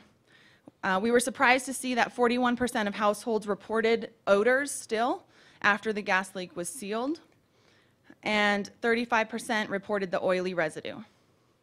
12% didn't know if they noticed the oily residue. Again, it, it is difficult to determine if it's on your home or not if, if you're not accustomed to looking for it. So once we knew we had an increase in, in health symptoms, more than what we would expect, we then launched quickly into the second phase of our post-leak response, which is the indoor sampling. And it really consisted of two components. So we had household dust samples, and then we also had indoor air sampling. And we tested for almost 300 chemicals that could possibly be associated with crude oil, with natural gas, and with the drilling muds. And the household dust findings concluded that the metals we found in the Porter Ranch area were higher concentrations and reported with more frequency than our comparison area. So we had a set of homes six miles away that we did the exact same protocol so that we could have a good reference population. And this pattern, uh, fingerprint of metals, it was statistically significant. It, it stood out to us as very unique. And so um, we tested for those same metals in the soil around SS25. And we also looked to the drilling mud ingredient lists, and we found similar metals in the drilling muds and the soils around SS25. So that suggested to us that there's this logical explanation the drilling mud metals may have entered the homes in these finer particles that were misted out um, during the well kill attempts. And these metals, they were found at very low concentrations um, that wouldn't pose a health threat for long-term issues, but it's possible that they could be contributing to some of the irritation symptoms we were observing, like skin uh, rashes, eye, nose, throat irritation. Um, and the air sampling showed that the levels of chemicals inside the Porter Ranch homes were very similar to our comparison area. So we didn't find anything that seemed out of the ordinary there. It seemed very consistent with what we would expect to find in our indoor home environments. So based on those indoor sampling findings, based on our health study that showed there is still a presence of symptoms in the Porter Ranch area, our department recommended some moving back home um, steps for residents to get their homes professionally cleaned, to ventilate, um, to clean air ducts, to change out air filters, um, to maintain air purifiers that they were um, they were provided by the gas company with air purifiers in many cases, and to spot treat oily residue. Um, the other thing is to launder all the clothing, um, especially for houses that are closest to the, the well. Um, you know, we did have reports of itchy skin after wearing clothes that was not laundered. Um, so simply laundering clothes and bedding has proven effective for many people to, to um, minimize the symptoms they're experiencing. So we issued a directive on May 13th for the gas company to clean homes located in Porter Ranch, any, anyone that was relocated, and then also within the five miles of SS 25, um, because that symptom map of, that we have based on our um, complaints to our office, based on our interviews with residents and understanding of the extent of, of the leak, um, really pointed to us that the five-mile radius um, is where the majority of residents experience symptoms. And on May 20th, the judge ordered the gas company to complete the cleaning for households in number two here, the relocated population. And so um, now all of the residents have moved back home, um, but we still continue to get reports of symptoms to our office. Um, and since cleaning has been conducted for only a portion of those households that the health officer has recommended, um, we, we do, we still are recommending cleaning and ventilation as two really key steps for the community to restore and to move forward. Um, so even though everyone is back home, um, you know, the community, there's still a lot, we still have a lot of work to do to, to rebuild and to restore the community. And thank you again for your time. Hopefully I didn't go too over.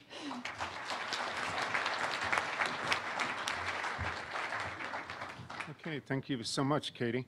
Appreciate that perspective on the public health impacts of Aliso Canyon. Again, we'll hold the questions until uh, uh, the very end. And by the way, if you're listening by webcast, you, you can go ahead and submit questions, and we'll just have them teed up for when we do go to that session. You don't have to wait till, till we have the Q and A session, but you can go ahead. Next up, we'll be hearing from the Environmental Defense Fund, and I'd like to start by, you know, in introducing EDF with, um, this will be a tag team with Scott Anderson and Adam Peltz.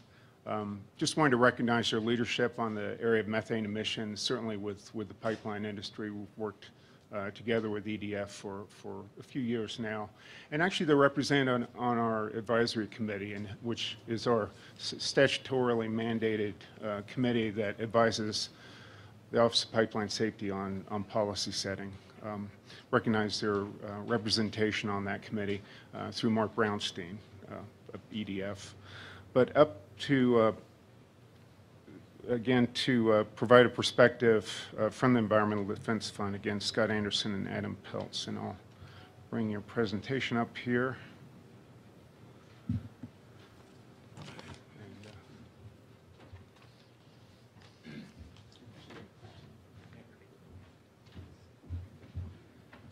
So I'm Scott, and um, Adam and I will be splitting EDF's time. We're very uh, pleased to have been invited. Um, Gas storage wells are not just pipelines that- are vertical rather than horizontal. And my top line uh, message today is that regulating the integrity of these wells uh, requires significant and specialized expertise. And in order for government regulations to play a meaningful role in uh, regulating uh, th- these, these facilities, uh, it's going to require more than simply telling industry to uh, follow industry standards. As Alan Mayberry mentioned this morning, uh, the big question is, uh, or at least suggested, uh, the, the big question is uh, where do we need to go beyond the industry standards? Adam is going to talk about some of the operational issues that relate to that question, and I'm going to raise three related questions that EDF uh, urges PHMSA to consider. Uh, First one is, uh, how can PHMSA, which until now has never regulated wells, make use of state expertise, especially for interstate facilities, given that Congress has preempted state safety regulation of interstate transportation and storage? Uh, And how, how can they do this, given that there are many differences among state well integrity rules? The second question uh, that we would pose is, uh, given that API 1170 and 1171 are quite explicit, uh, that they are not all-inclusive, and that they are not intended or that they are intended to supplement rather than replace uh, state and federal regulations, uh, and, and local, I guess I would add. Uh, How, how can risk management requirements be based on these RPs uh, without leaving significant gaps and creating a situation where industry is simply regulating itself? And my third question is, where will the money come from? Uh, Both federal and state regulators will need uh, significantly uh, more money uh, in order to enhance oversight of storage facilities. I, I, don't have an answer, I'm afraid, to that last question on funding, uh, but we do have a few suggestions to make today on the first two questions. Um, As to the, as to the first one, uh, how can PHMSA make use of state expertise? Uh, We have two uh, suggestions, one for interstate, one for intrastate. As, as to wells associated with interstate facilities, we urge PHMSA to ask its legal advisors uh, to do some uh, deep and creative thinking uh, about how the agency can enforce a very key provision in the February 2016 advisory bulletin. Uh, That bulletin says that operators must adhere to applicable state regulations for the permitting, drilling, completion, and operation of storage wells.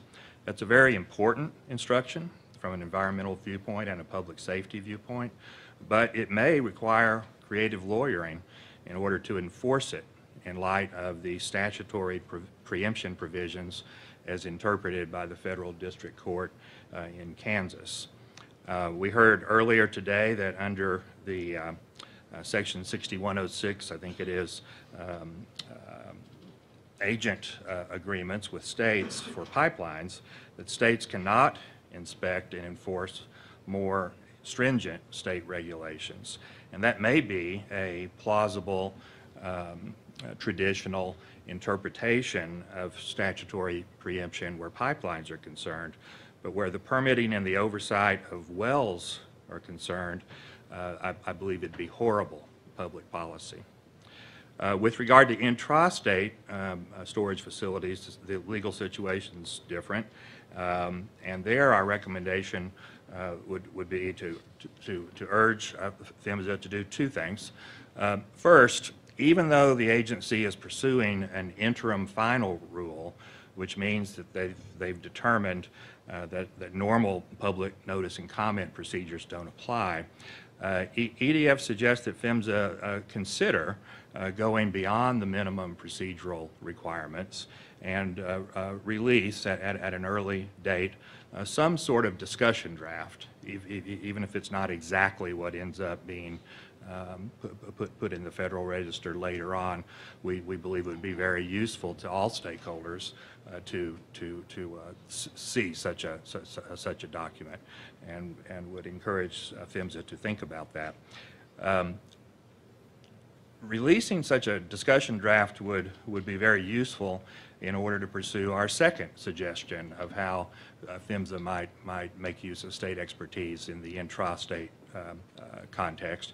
And that second suggestion is that we hope PHMSA will offer to meet with state regulators soon uh, to begin discussing exactly how the agency will, will determine whether state regulation of intrastate wells are at least as stringent as the minimum federal standards, which is a statutory requirement. Uh, Requiring states to adopt federal language uh, word for word is not necessarily the only or the best way to do that, and we believe that the sooner state and federal regulators begin discussing their options, uh, the better.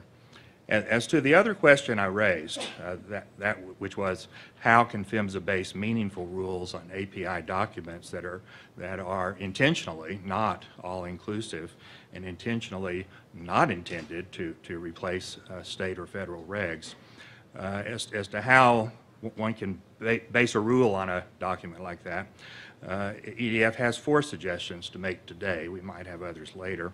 Uh, th- Three of these four, uh, we already see in the, in the discussion draft that uh, California released last week for its rulemaking on uh, gas storage. And, uh, and those three are as follows. First, that risk management plans should be approved by the agency not only should you require there be risk management plans, but the agency ought to have say-so over whether those risk management plans are adequate.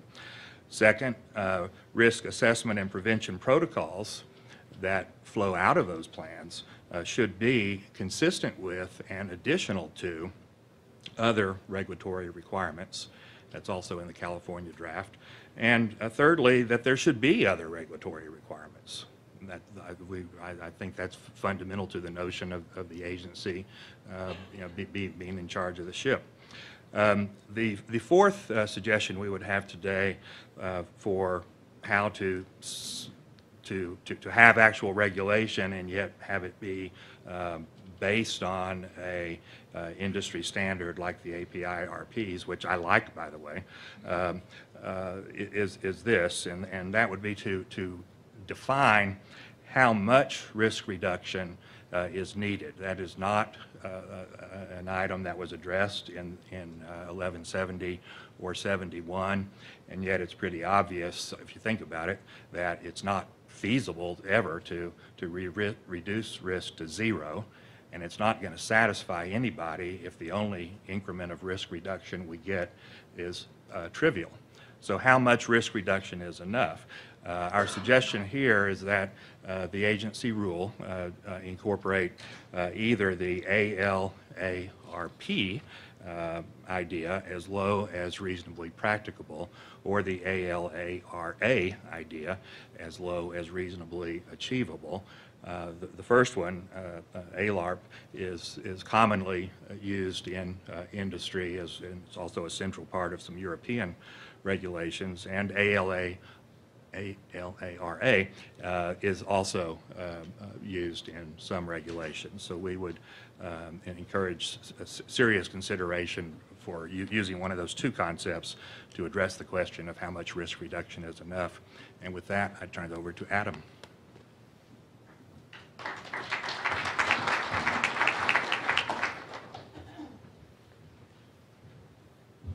Great, so while we get the uh, PowerPoint back up, and I'll probably need someone's help to do that, um, someone with a password perhaps, uh, I thought I would um, give a little overview uh, and some set context setting for what I'm going to go over.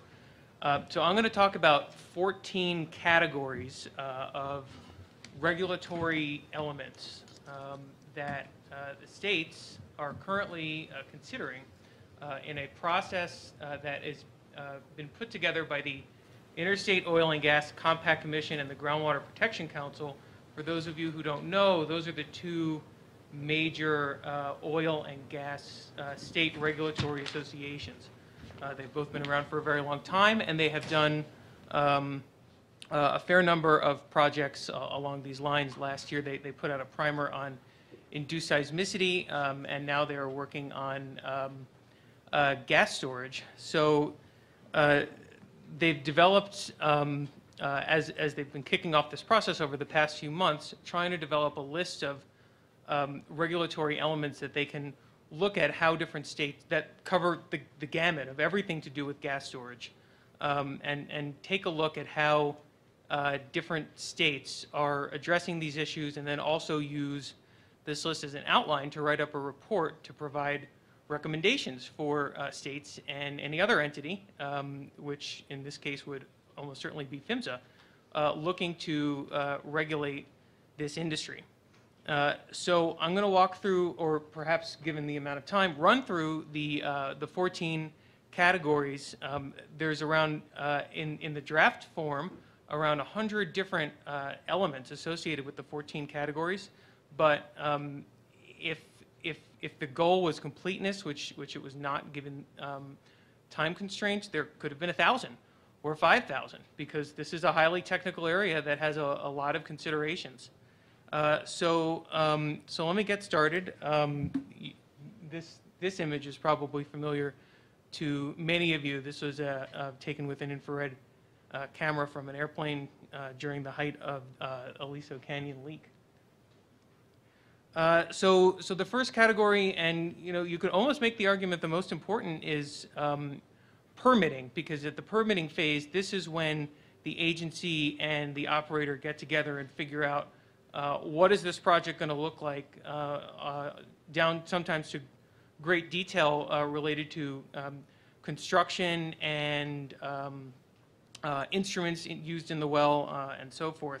Uh, So, so here, um, the IOGCC GWPC effort is looking at spacing and siting of new projects, uh, proximity to sensitive areas and structures, uh, an area of review, which is looking at conduits that uh, go through gas storage zones and could potentially uh, cause a migration of of fluids, gases, um, well design, and I'll return to that momentarily, financial assurance, and permit transfer.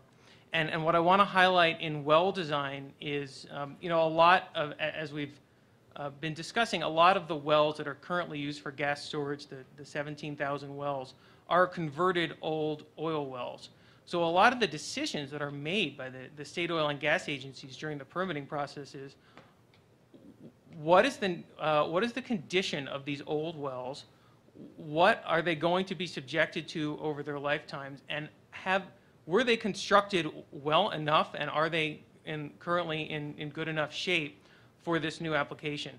So thinking about um, well conversions is because, you know, so many of these wells are old, is, is just as important as figuring out what should go into a new well. Um, Two other aspects that, that can go into permitting, it could fall elsewhere, but permitting is a good place to talk about them, are probably two of the more controversial technical issues that have uh, come up over the past uh, few days in, in our DOE conversations. Um, One is about the uh, use of emergency uh, safety valves. Uh, Those can take the form of subsurface safety valves, which are either uh, subsurface activated or surface activated, and um, surface safety valves. So the these are things that, you know, they do what they sound like. They, they, they shut, they shut the wells down to some extent. There's, not, not completely. When, when there's a, a problem, um, it's, uh, one cannot say that a particular type of valve is appropriate for, for any, any particular well without going pretty deep into technical details. Um, but every state is thinking about, you know, under what circumstances to require them and, and which type to require in which circumstance, um, how often they need to be inspected and calibrated and replaced and so forth. Uh, So I'll move on to um, well drilling, construction, reconstruction, and conversion. I mentioned conversion, but when, when, you know, these, these wells, um, you know, there's 17,000 uh, gas storage wells, right? But there's, uh, you know, millions of production wells, and they're, they're actually uh, built in, um, in pretty similar ways. So the state oil and gas agencies have been regulating for, you know, anywhere up to 100 years or more, how to construct, um, how to construct wells. So, so here you're thinking about things like drilling, uh, drilling rules, casing, cementing, um, and cement is, is probably the single most important thing if you want to have a well that has good integrity, which is to say it doesn't leak. You want to make sure that you cement it properly with the right type of cement, and you have enough annular space in between the casing and, and, and the, um, and the formation, and, and the cement needs to have uh, the right properties and, and needs to be mixed properly at the right water temperatures and have the right sort of additives for the, for the zones that they're trying to isolate, and it goes on and on and on. And there's a lot of these very technical issues that the states are thinking about, uh, you know, what are their rules overall and whether they uh, need to be um, uh, adjusted for, for the gas storage context.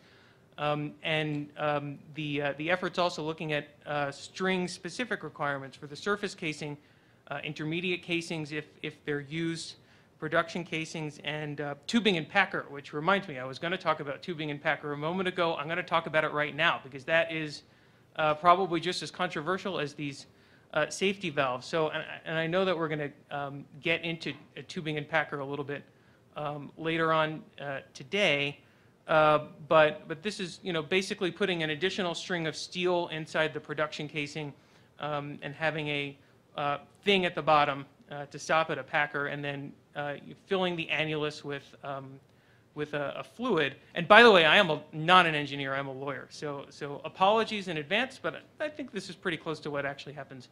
Um, and so the, the good news about tubing and packer is if you use it, you have an additional barrier of protection and you have an additional way to, um, to monitor whether the well's working uh, as it's supposed to. The bad news about them is it's an additional piece of equipment. Um, every time you add something, you create new risks.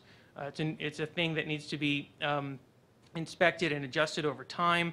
Uh, And it also uh, can reduce uh, uh, flow rates. Uh, So if you put a tubing and packer in a, in a, in a well, sometimes, you know, y- y- you'll need to drill new wells in order to be able to um, have the same input and output to the gas storage field that you do now. Uh, But this is one of the, the, the- as I say, one of the hottest topics, and, and uh, the states that um, regulate gas storage right now explicitly, uh, most of them have an opinion on tubing and packer. Um, So this third issue came up actually as a question uh, towards the end of the day yesterday. What about future wells that are drilled through storage reservoirs?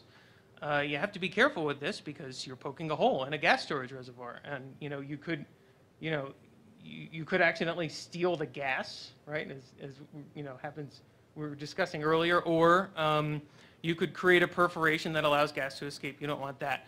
So um, uh, many states have regulations on, uh, on this, and, and all states are thinking about how to make sure that this is done properly.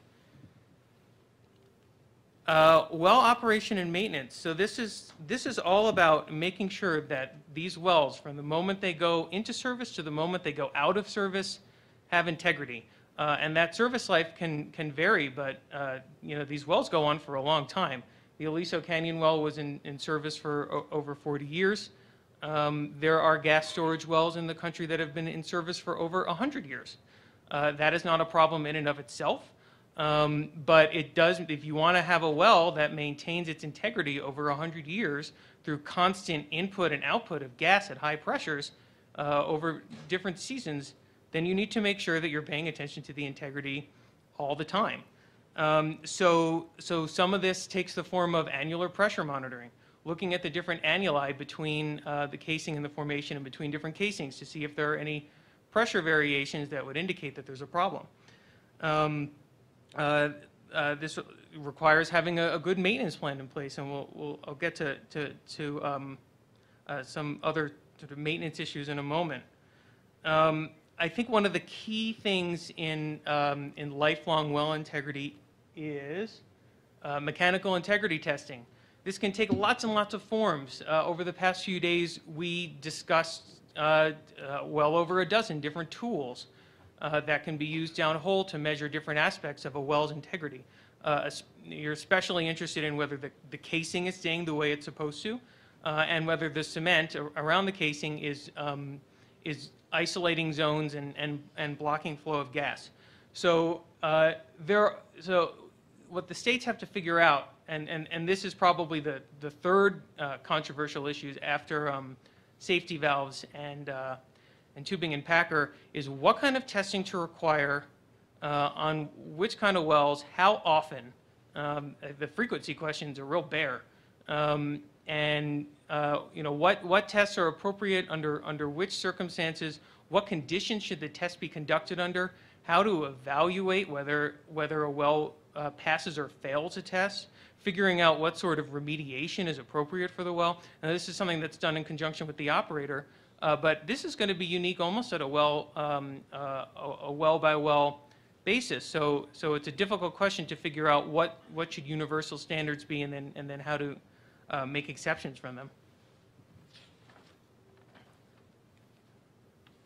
Uh, So in addition to detecting leaks at the surface or uh, uh, subsurface using annular pressure monitoring and, and using these tools, you can also look um, at the surface using uh, sort of newfangled devices that can sniff out methane. Some of them can even quantify methane.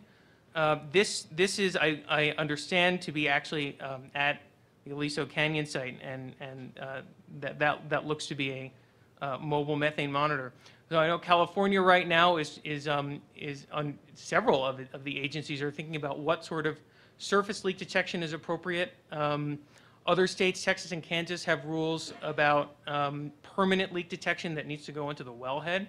Um, So, so you need to think about what equipment to require, how often it needs to be tested, what are the thresholds for action?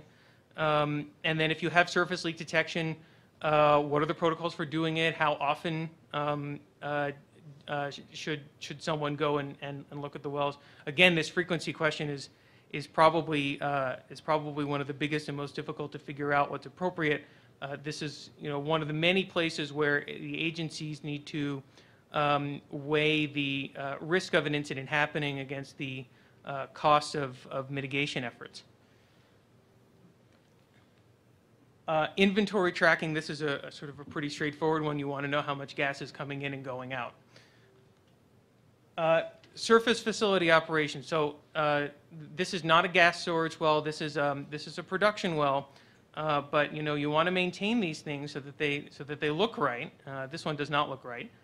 Um, And so that, that means having a set of procedures uh, to, to go out um, and, and make sure that everything is, is is hunky-dory. This is something that, you know, the operators do on their own, but it's an area where regulators think, you know, what, what should we be requiring the operators to do uh, in terms of frequency and also in terms of reporting? Um, This is also, uh, you know, a a good place to, to raise the notion of having to, um, to think about the wellheads. How should the wellheads be constructed? What sort of valves should be on the wellheads? How often should you test uh, the different uh, valves, the master valves and other pipeline isolation valves on the wellhead? Um, And the other thing I want to raise here is uh, the wellhead is, is sort of where um, the jurisdictions start to overlap between uh, the oil and gas agencies and the pipeline agencies. Uh, I think a, a good rule of thumb um, is that the vertical portion is um, the oil and gas agencies and the horizontal uh, portion is the, um, the pipeline agencies, but that is not always so. Every state has a slightly different configuration. Um, And the upshot of this is, is, you know, the states need to uh, of do deep dives internally to figure out who does what and to have good um, memoranda of understanding uh, between the agencies so they can make sure there are no gaps. Um, Reservoir integrity, this is, this is a super important one, and this is where, you know, I hope the geologists in the, in the room raise their eyebrows. Uh, This is where you need to make sure that um, your subsurface is behaving how it's supposed to with the gas going in and out and making sure that, you know, especially for um, salt cavern storage, that your salt caverns aren't collapsing. Uh, And this can be done through all sorts of different monitoring uh, requirements that, that agencies can think through, you know, what's appropriate to require. Every uh, facility is going to have a different uh, set of circumstances related to reservoir integrity. So this is going to be mm, uh, a site-specific thing, but there are certain common data elements that agencies will want to collect. Um, Emergency, uh, emergency response. Uh, This, this goes back to um, what, what the, the chief was talking about earlier. Having an emergency response plan could not be more essential. Uh, Clearly, you know, emergency response is where the, the public is going to see how well is everyone doing. Uh, So having a plan in place um, that explains who does what, um, what are the, you know, what are the different steps for different people, who gets contacted, who's in charge, uh, making sure that's up to date. Uh, That's the, uh, many uh, oil and gas agencies require um, these emergency response plans to be written and updated regularly. Uh, Eventually, these wells um, will, you know, they can't last forever. 100 years is great, you know, 1,000 years, maybe not. Um, When these wells, so some of them will just get shut down when a field is shut down. Sometimes, um, uh, you know, you get a problem in a well that is not worth remediating, and you want to make a new well. So you have to, um, you have to plug the old wells. Now, states have plugging rules for, uh, that, that apply uh, to uh, all of their uh, oil and gas wells in the state, and usually those plugging rules will apply to gas storage. But again, this is a good opportunity for states to think through whether their plugging rules are doing everything they want them to be doing. Um, And, and this includes, you know, what zone should be isolating, isolated, what, um, you know, should, should casing be pulled, uh, cement blends for, um, uh, for, for plugging, uh, who, who witnesses it, and what do they look for? Uh, So there's a lot of technical stuff here, and then, you know, there's also, what do you want it to look like afterwards? Um, So public participation, this is uh, uh, not a technical issue in, in the same way that the other ones are, but this is still a key part of any regulatory framework uh, on gas storage. When does the public get to know that, that, that a well is going in or that a change is happening and what sort of input is there? Um, uh, This, this I think is, uh, is a Colorado public meeting um, uh, for, not for gas storage, um, but, but for, for oil and gas development. These things can sometimes be controversial, but Uh, people need uh, people need to have a role and to feel that they have a role uh, in order to have a social license uh, to operate. So risk management planning, we've been talking about that a few times. Uh, this is this is a this is a key thing because um, this this is at at the center or, or near the center of the proposed California rule. This is likely to be at the center of a of a PHMSA rule based on what's in API 1170 and 1171. So this is where operators have the opportunity um, to say, here is what's specific to our field. Here is how we're going to mitigate the risks that, that we have. Uh, so as, as, uh, as, as Scott Anderson said, you know, we, we like it ideally when an agency will take these in and approve them because, you know, so what agencies do is they set, you know, prescriptive standards or performance standards, and then they'll have something like a risk management plan um, so that, that they can get input from the operators.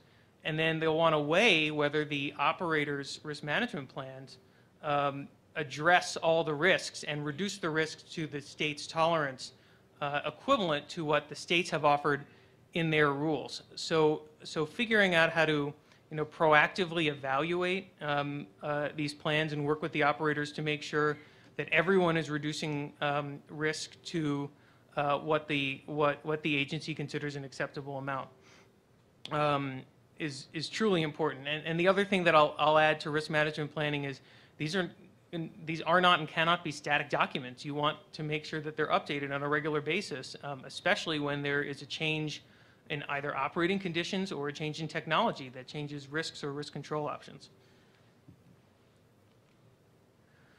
Uh, so this one is is is self-titling. Um, monitoring wells. You know, you you. This is a way to uh, make sure you know what's going on in the reservoir, and a way to make sure uh, that your wells have integrity. It's sort of it's a it's a belt and suspenders on top of the annular pressure monitoring and the frequent testing and the surface leak. Uh, all these things work in tandem to make sure that that that the um, wells and the facilities are maintaining integrity. But you can um, you can measure all sorts of things by having purpose-built wells, either in the gas storage field or around the gas storage field, and figuring out when these are appropriate and how they should be built and how they should be used, what should be monitored for, what information should be reported, um, et cetera uh, is, is a key thing that, that, that states are think, thinking about. And, and, you know, I trust that while states are thinking about this, I know PHMSA is participating in this effort too. Um, so over, over the next, say, six to eight months, although, you know, don't hold me to that, and, uh, and, and Rick Simmers from the Ohio Department of Natural Resources is here and is um, co-chairing uh, this effort with uh, Hal Fitch from Michigan, and, and, and uh, Rick's going to be giving a presentation uh, on this later this afternoon, which will give some more context, and they'll, they'll call for some volunteers if you guys are interested in any of these topics and, and want to give input. Uh, but you know, I'm, I'm looking forward to seeing how what states and PHMSA uh, come up with uh, in response uh, to uh, to this work. Uh, so, I think with that, I've covered it all.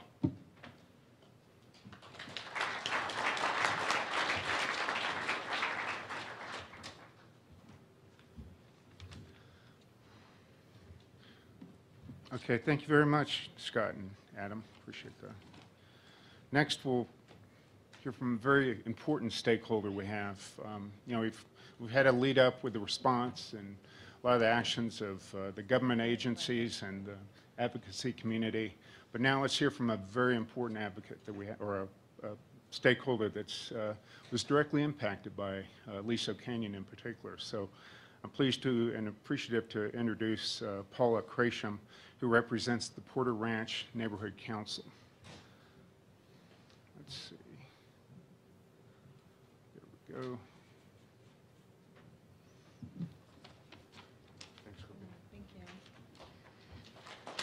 Thank you. Thank you, thank you. Well, first of all, it sucks to be the last one before lunch. So, and we're running a little late. So I'm going to go through this as quickly as we can, and I'll try to jump over some stuff, and then we'll see um, if there's any questions later. We can maybe tackle those. But um, it's actually not the first page, so I'm going to pull this out really quickly. Um, as a community, we were embarrassingly unaware of our surroundings and what was going on in the hills above us. But on October 23rd, everyone got a wake up call. we started chasing the truth and trying to find out what was going on. We got calls going into the gas company over that weekend, and we're told nothing had happened. But it was obvious something had happened because the community was completely inundated with the smell of natural gas in the Mercaptans. The following week, they did admit that they had a leak, and we started chasing to see how bad it was. We were told that there was no risk and that no methane would make its way into our community, something we would later find out was not true. The issue is that we're in a high wind area, and we understand that methane being lighter than air, we were kept told, we were being told it went straight up, but not in Porter Ranch. The winds are significant in Porter Ranch, so everything on that hill was being pushed down into our communities. Not to mention that the mercaptans are heavier than air, so they were naturally drifting down those canyons, pocketing in areas where we had people getting really, really sick. And the FLIR camera by the Environmental Defense Fund was the first step in letting us know that. One of the challenges for the community was that that technology existed and it was never shared. And for a community to be left blind when your, your health and your family's health at stake is really, really challenging. So to know that that data was out there and it wasn't being shared with the community was extremely, extremely difficult for us. Uh, we were told that the gas company would have a fix within a couple days, and as we have all heard, that it certainly was not the case. Ultimately, the fix that they tried to do did not work, and it would take four months to dig the relief well. I'm caught up with my notes. Um, we struggled to uh, know even what questions to ask. Um, and all kinds of information was being hurled at us. Everything from there's absolutely no risk to you're at grave risk and you need to leave. And this came from doctors, not only just community people and, and experts within the area. We were told that our houses were safe to stay in and that our houses were contaminated that we need to be relocated as quickly as possible. We kept trying to figure out if it was safe for us or for our kids or for any of our family members and the long-term risks and exposure. The challenge is that we would never be able, no one was ever able to really say that there are no long-term risks to benzene at even these low levels for such a long period of time. And with the wind, which is one of the reasons we'd push for the 24-hour monitoring, with the wind coming down into our community, you would have extended periods of time for this pocket and then the others you would have nothing. So those long-term testing and air samplings became a really critical and important part of what we needed to know.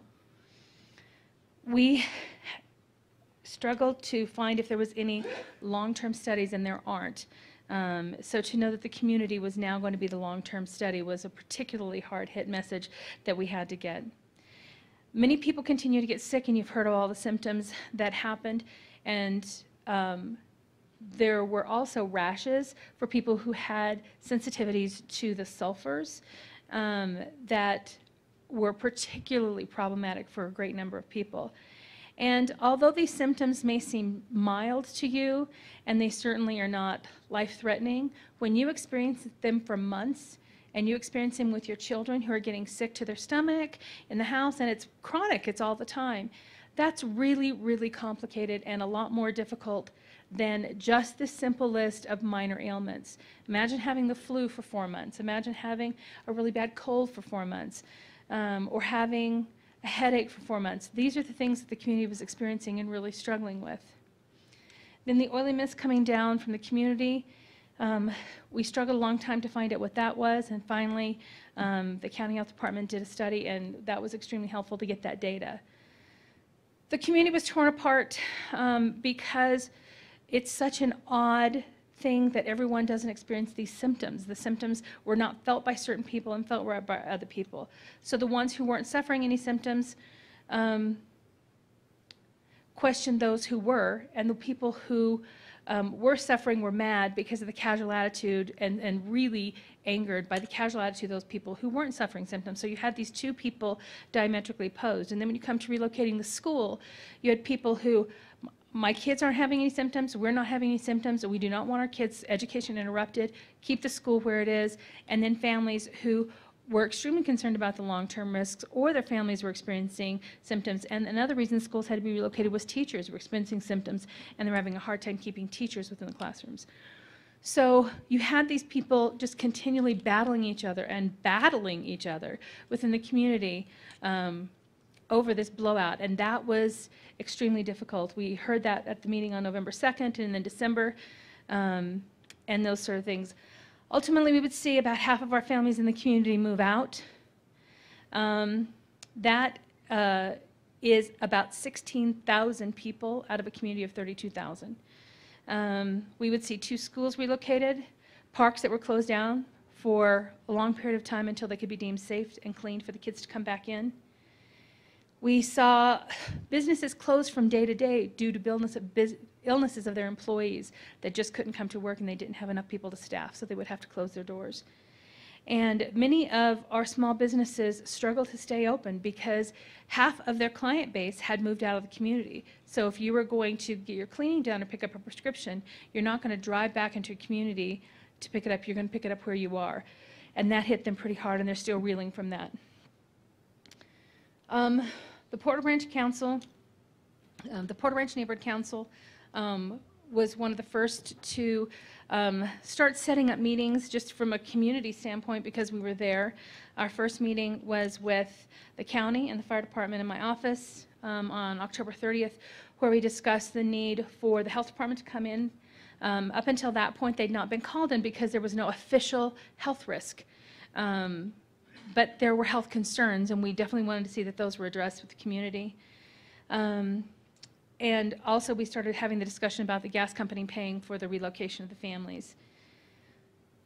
We hosted the first meeting um, on November 2nd, and a- a number of other meetings after that were thousands of attend, thousands attended, and they were lively meetings. People are scared.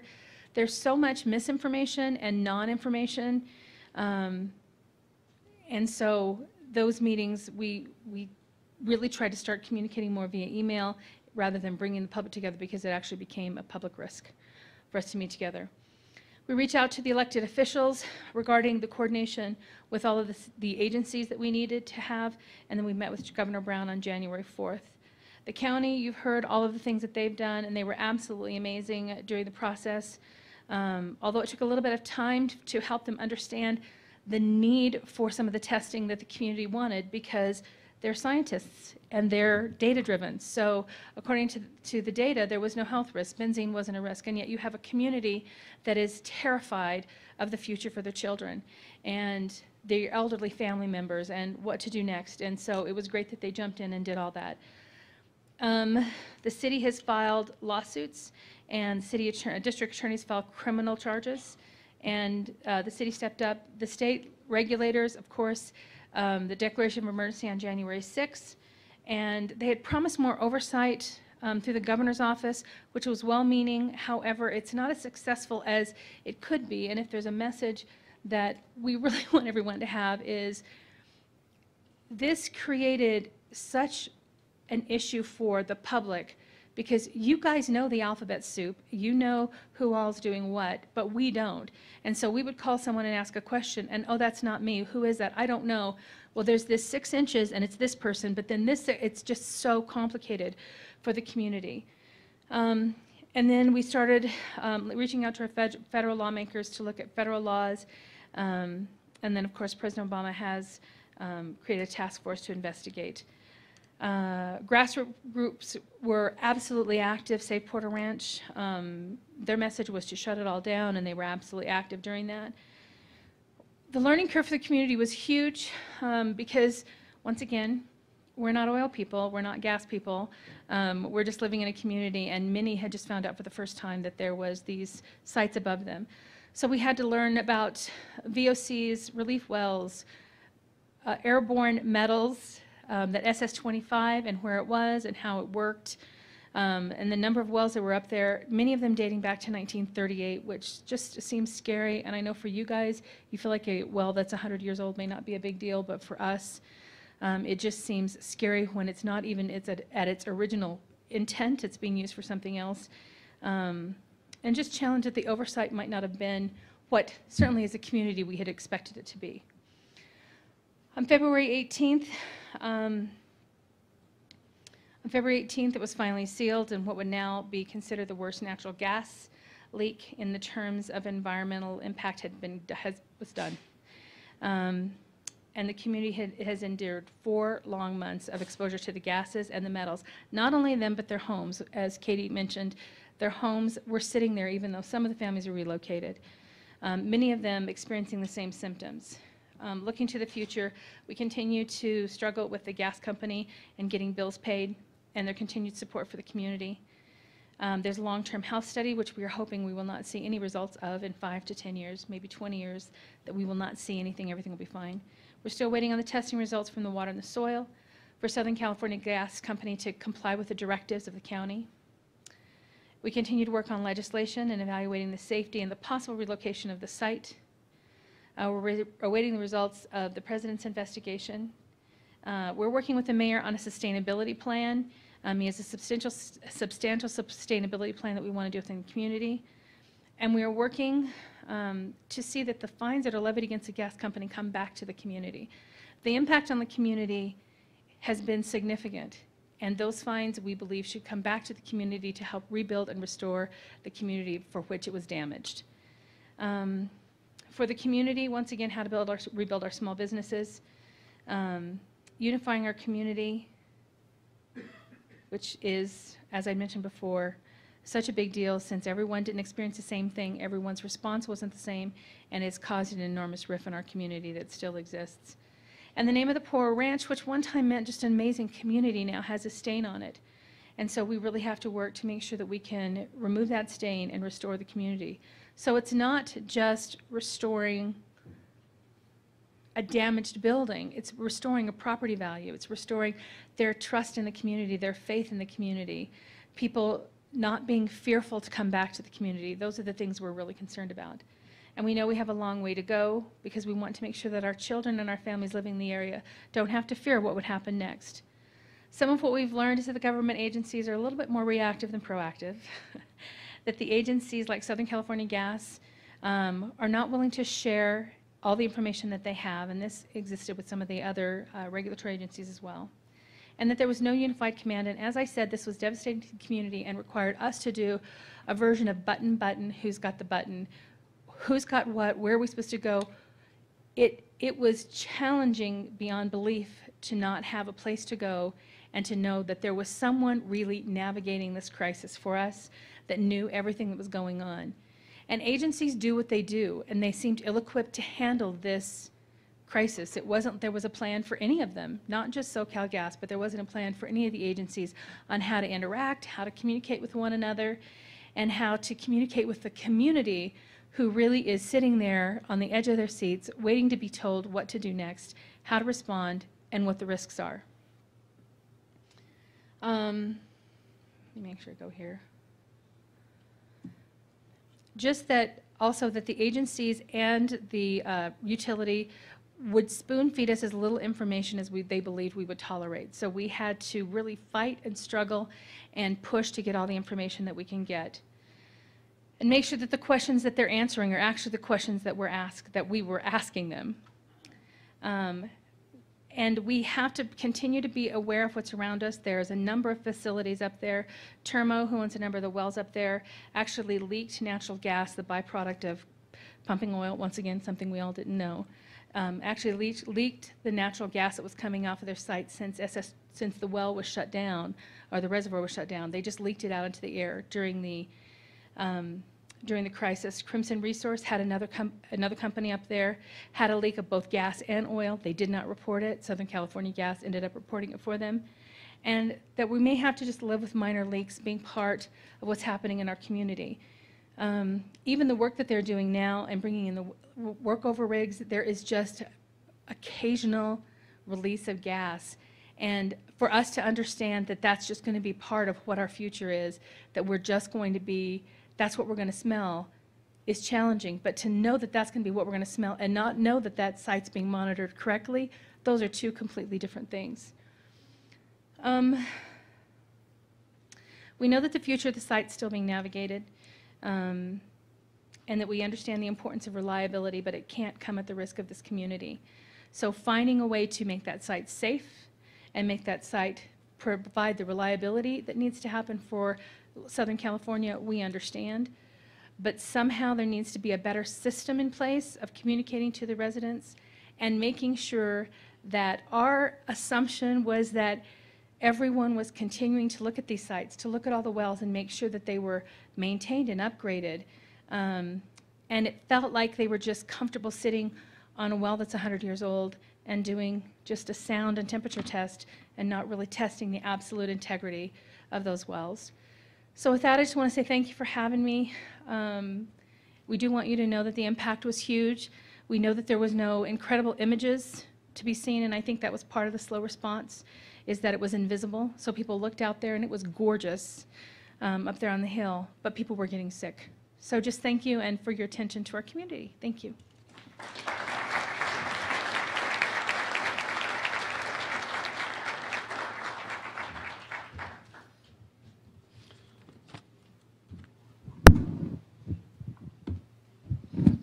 Thank you very much, Paula.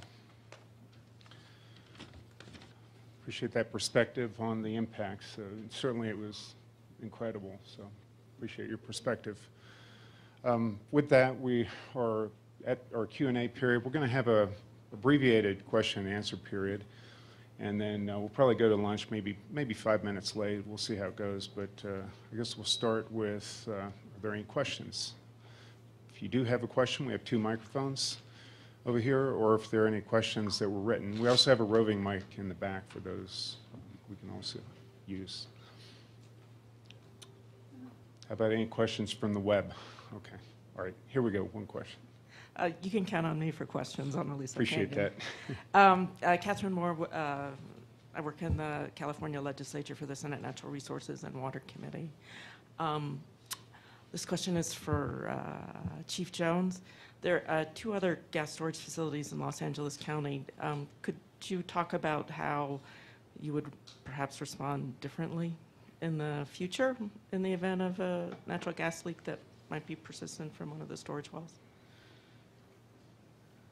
Well, I certainly think we'd get a handle on it relatively quicker in, in terms of managing the situation. I, um, I think from, from the fire perspective, you know, we, we certainly uh, have started looking at these kind of facilities and what role we have to play in overseeing and regulating them. And, um, you know, if another situation were, were to occur, we obviously have our recent experiences and our recent uh, lessons uh, to go off of. And, you know, I think the important thing here is, is what we do going forward in terms of uh, the risk management plans, the emergency plans, uh, the communication elements of, of those plans, and, and who's going to be responsible for it. Because the worst thing that could happen here is everybody go back to their silos and do what they do every day. If we don't communicate and pre-plan, we're going to have another situation like we had here.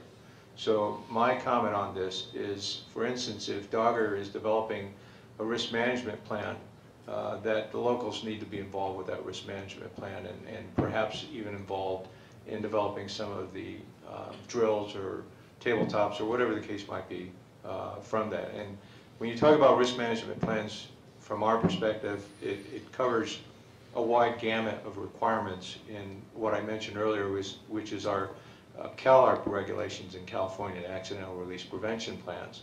And we've been doing that for 30 years or for 20 years, and, and uh, we're, we're actually still growing in that area because of the uh, refinery releases that we've had in California, in Richmond, California, a couple years back, and then most notably the ExxonMobil in, in the city of Torrance. And so I, I think all of these collectively uh, are contributing to uh, a mindset uh, that we have to, uh, you know, keep away from our silo type of approach and, and start interacting uh, more aggressively, both at the local level and the state level, and, and certainly uh, other stakeholders. And, and I think, uh, you know, the one thing that uh, we really have to uh, engage in is that community portion of it, to make sure that the communities are involved too, because they do have some uh, good feedback and good input into that kind of process. Uh, uh, Thank you. I also have a, a question for Katie. You mentioned going up onto the site to uh, take samples uh, to try and identify the source of some of the compounds that you were seeing in people's homes. Um, Were you able to obtain from SoCal Gas or their contractors uh, the composition of, of some of the fluids that were being used in the well kill attempts? So we, Uh, We obtained the material safety data sheets of the drilling fluid, or the drilling materials, uh, but we did not obtain um, actual samples of, of the fluids themselves. And so that's something we've requested. We have not received that. The, uh, the MSDS sheets wouldn't have uh, the trade secret chemical information, correct? Just the symptoms associated in the general? Right, that, that's right. The material safety data sheets, and a lot of times they'll list proprietary ingredients as well, so they won't have the full listing. So we had to base our chemical analysis list on what we know about drilling muds, what we know about the industry, uh, what we know we typically find in crude oil and natural gas, because we didn't have that source information. Thank you.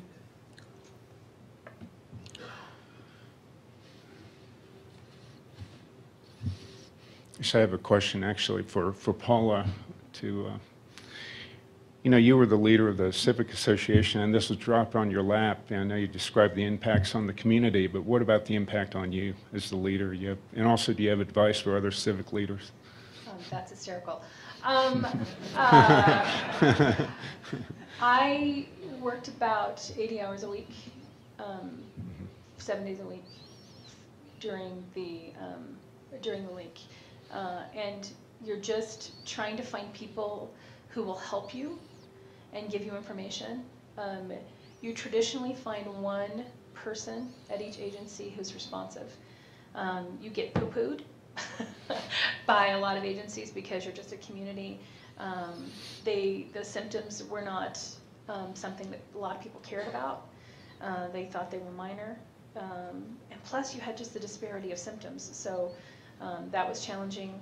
Um, But I think that someone has to sound the alarm and someone has to beat the drum. It, just things don't happen on their own. They don't. They have to have engagement. Um, it's the same with everything, but when you have a crisis, someone has to. So we became sort of the holder of the strings of all the agencies to try to find some sort of a connection so the community had at least someone to go to so that we can try to figure it out. But even within the agencies, you would ask them a question and they did not know who would be the right person to answer that question. And that was shocking. I think our expectation was that they were more connected um, and more informed of their industry. But they were perfectly comfortable saying, this is my piece, and I know everything about this piece. I don't need to know about this piece or this piece. And so for community, that's, that's devastating. Appreciate it. Anyone else? Yes, well, since I have the podium, I'll ask one quick question of Katie. I- I know it's been mentioned a couple of times related to the Mercaptan and the separation issue. Did- Was there, can you talk to that or any, I guess, attempt to quantify that? I mean, it looks like your readings were all really nil, but, you know, could you speak to that issue there? Right, so we did explore um, some more innovative ways in discussions with experts in other laboratories on how we might be able to uh, employ some newer methods uh, of sampling or laboratory sampling methods that would allow us to measure down to the low levels that people were, were smelling. Um, But in the end, we didn't pursue them because um, you know, they're not approved methods, they haven't been tested. Um, so it's some, it, it is a further area that, that requires research so that, um, we can measure things accurately and be able to understand trends. And because as Paula pointed out, you know, the mercaptan and the other sulfur odorants, they are heavier and they, they, they travel differently. So just, you know, their physical property is so different. So even though we used methane as an indicator, um, it's, it's not the best indicator because it has very different physical properties. Yeah. Okay, thank you. Is that it for questions for the morning session? Let's have another round of applause for the panelists this morning.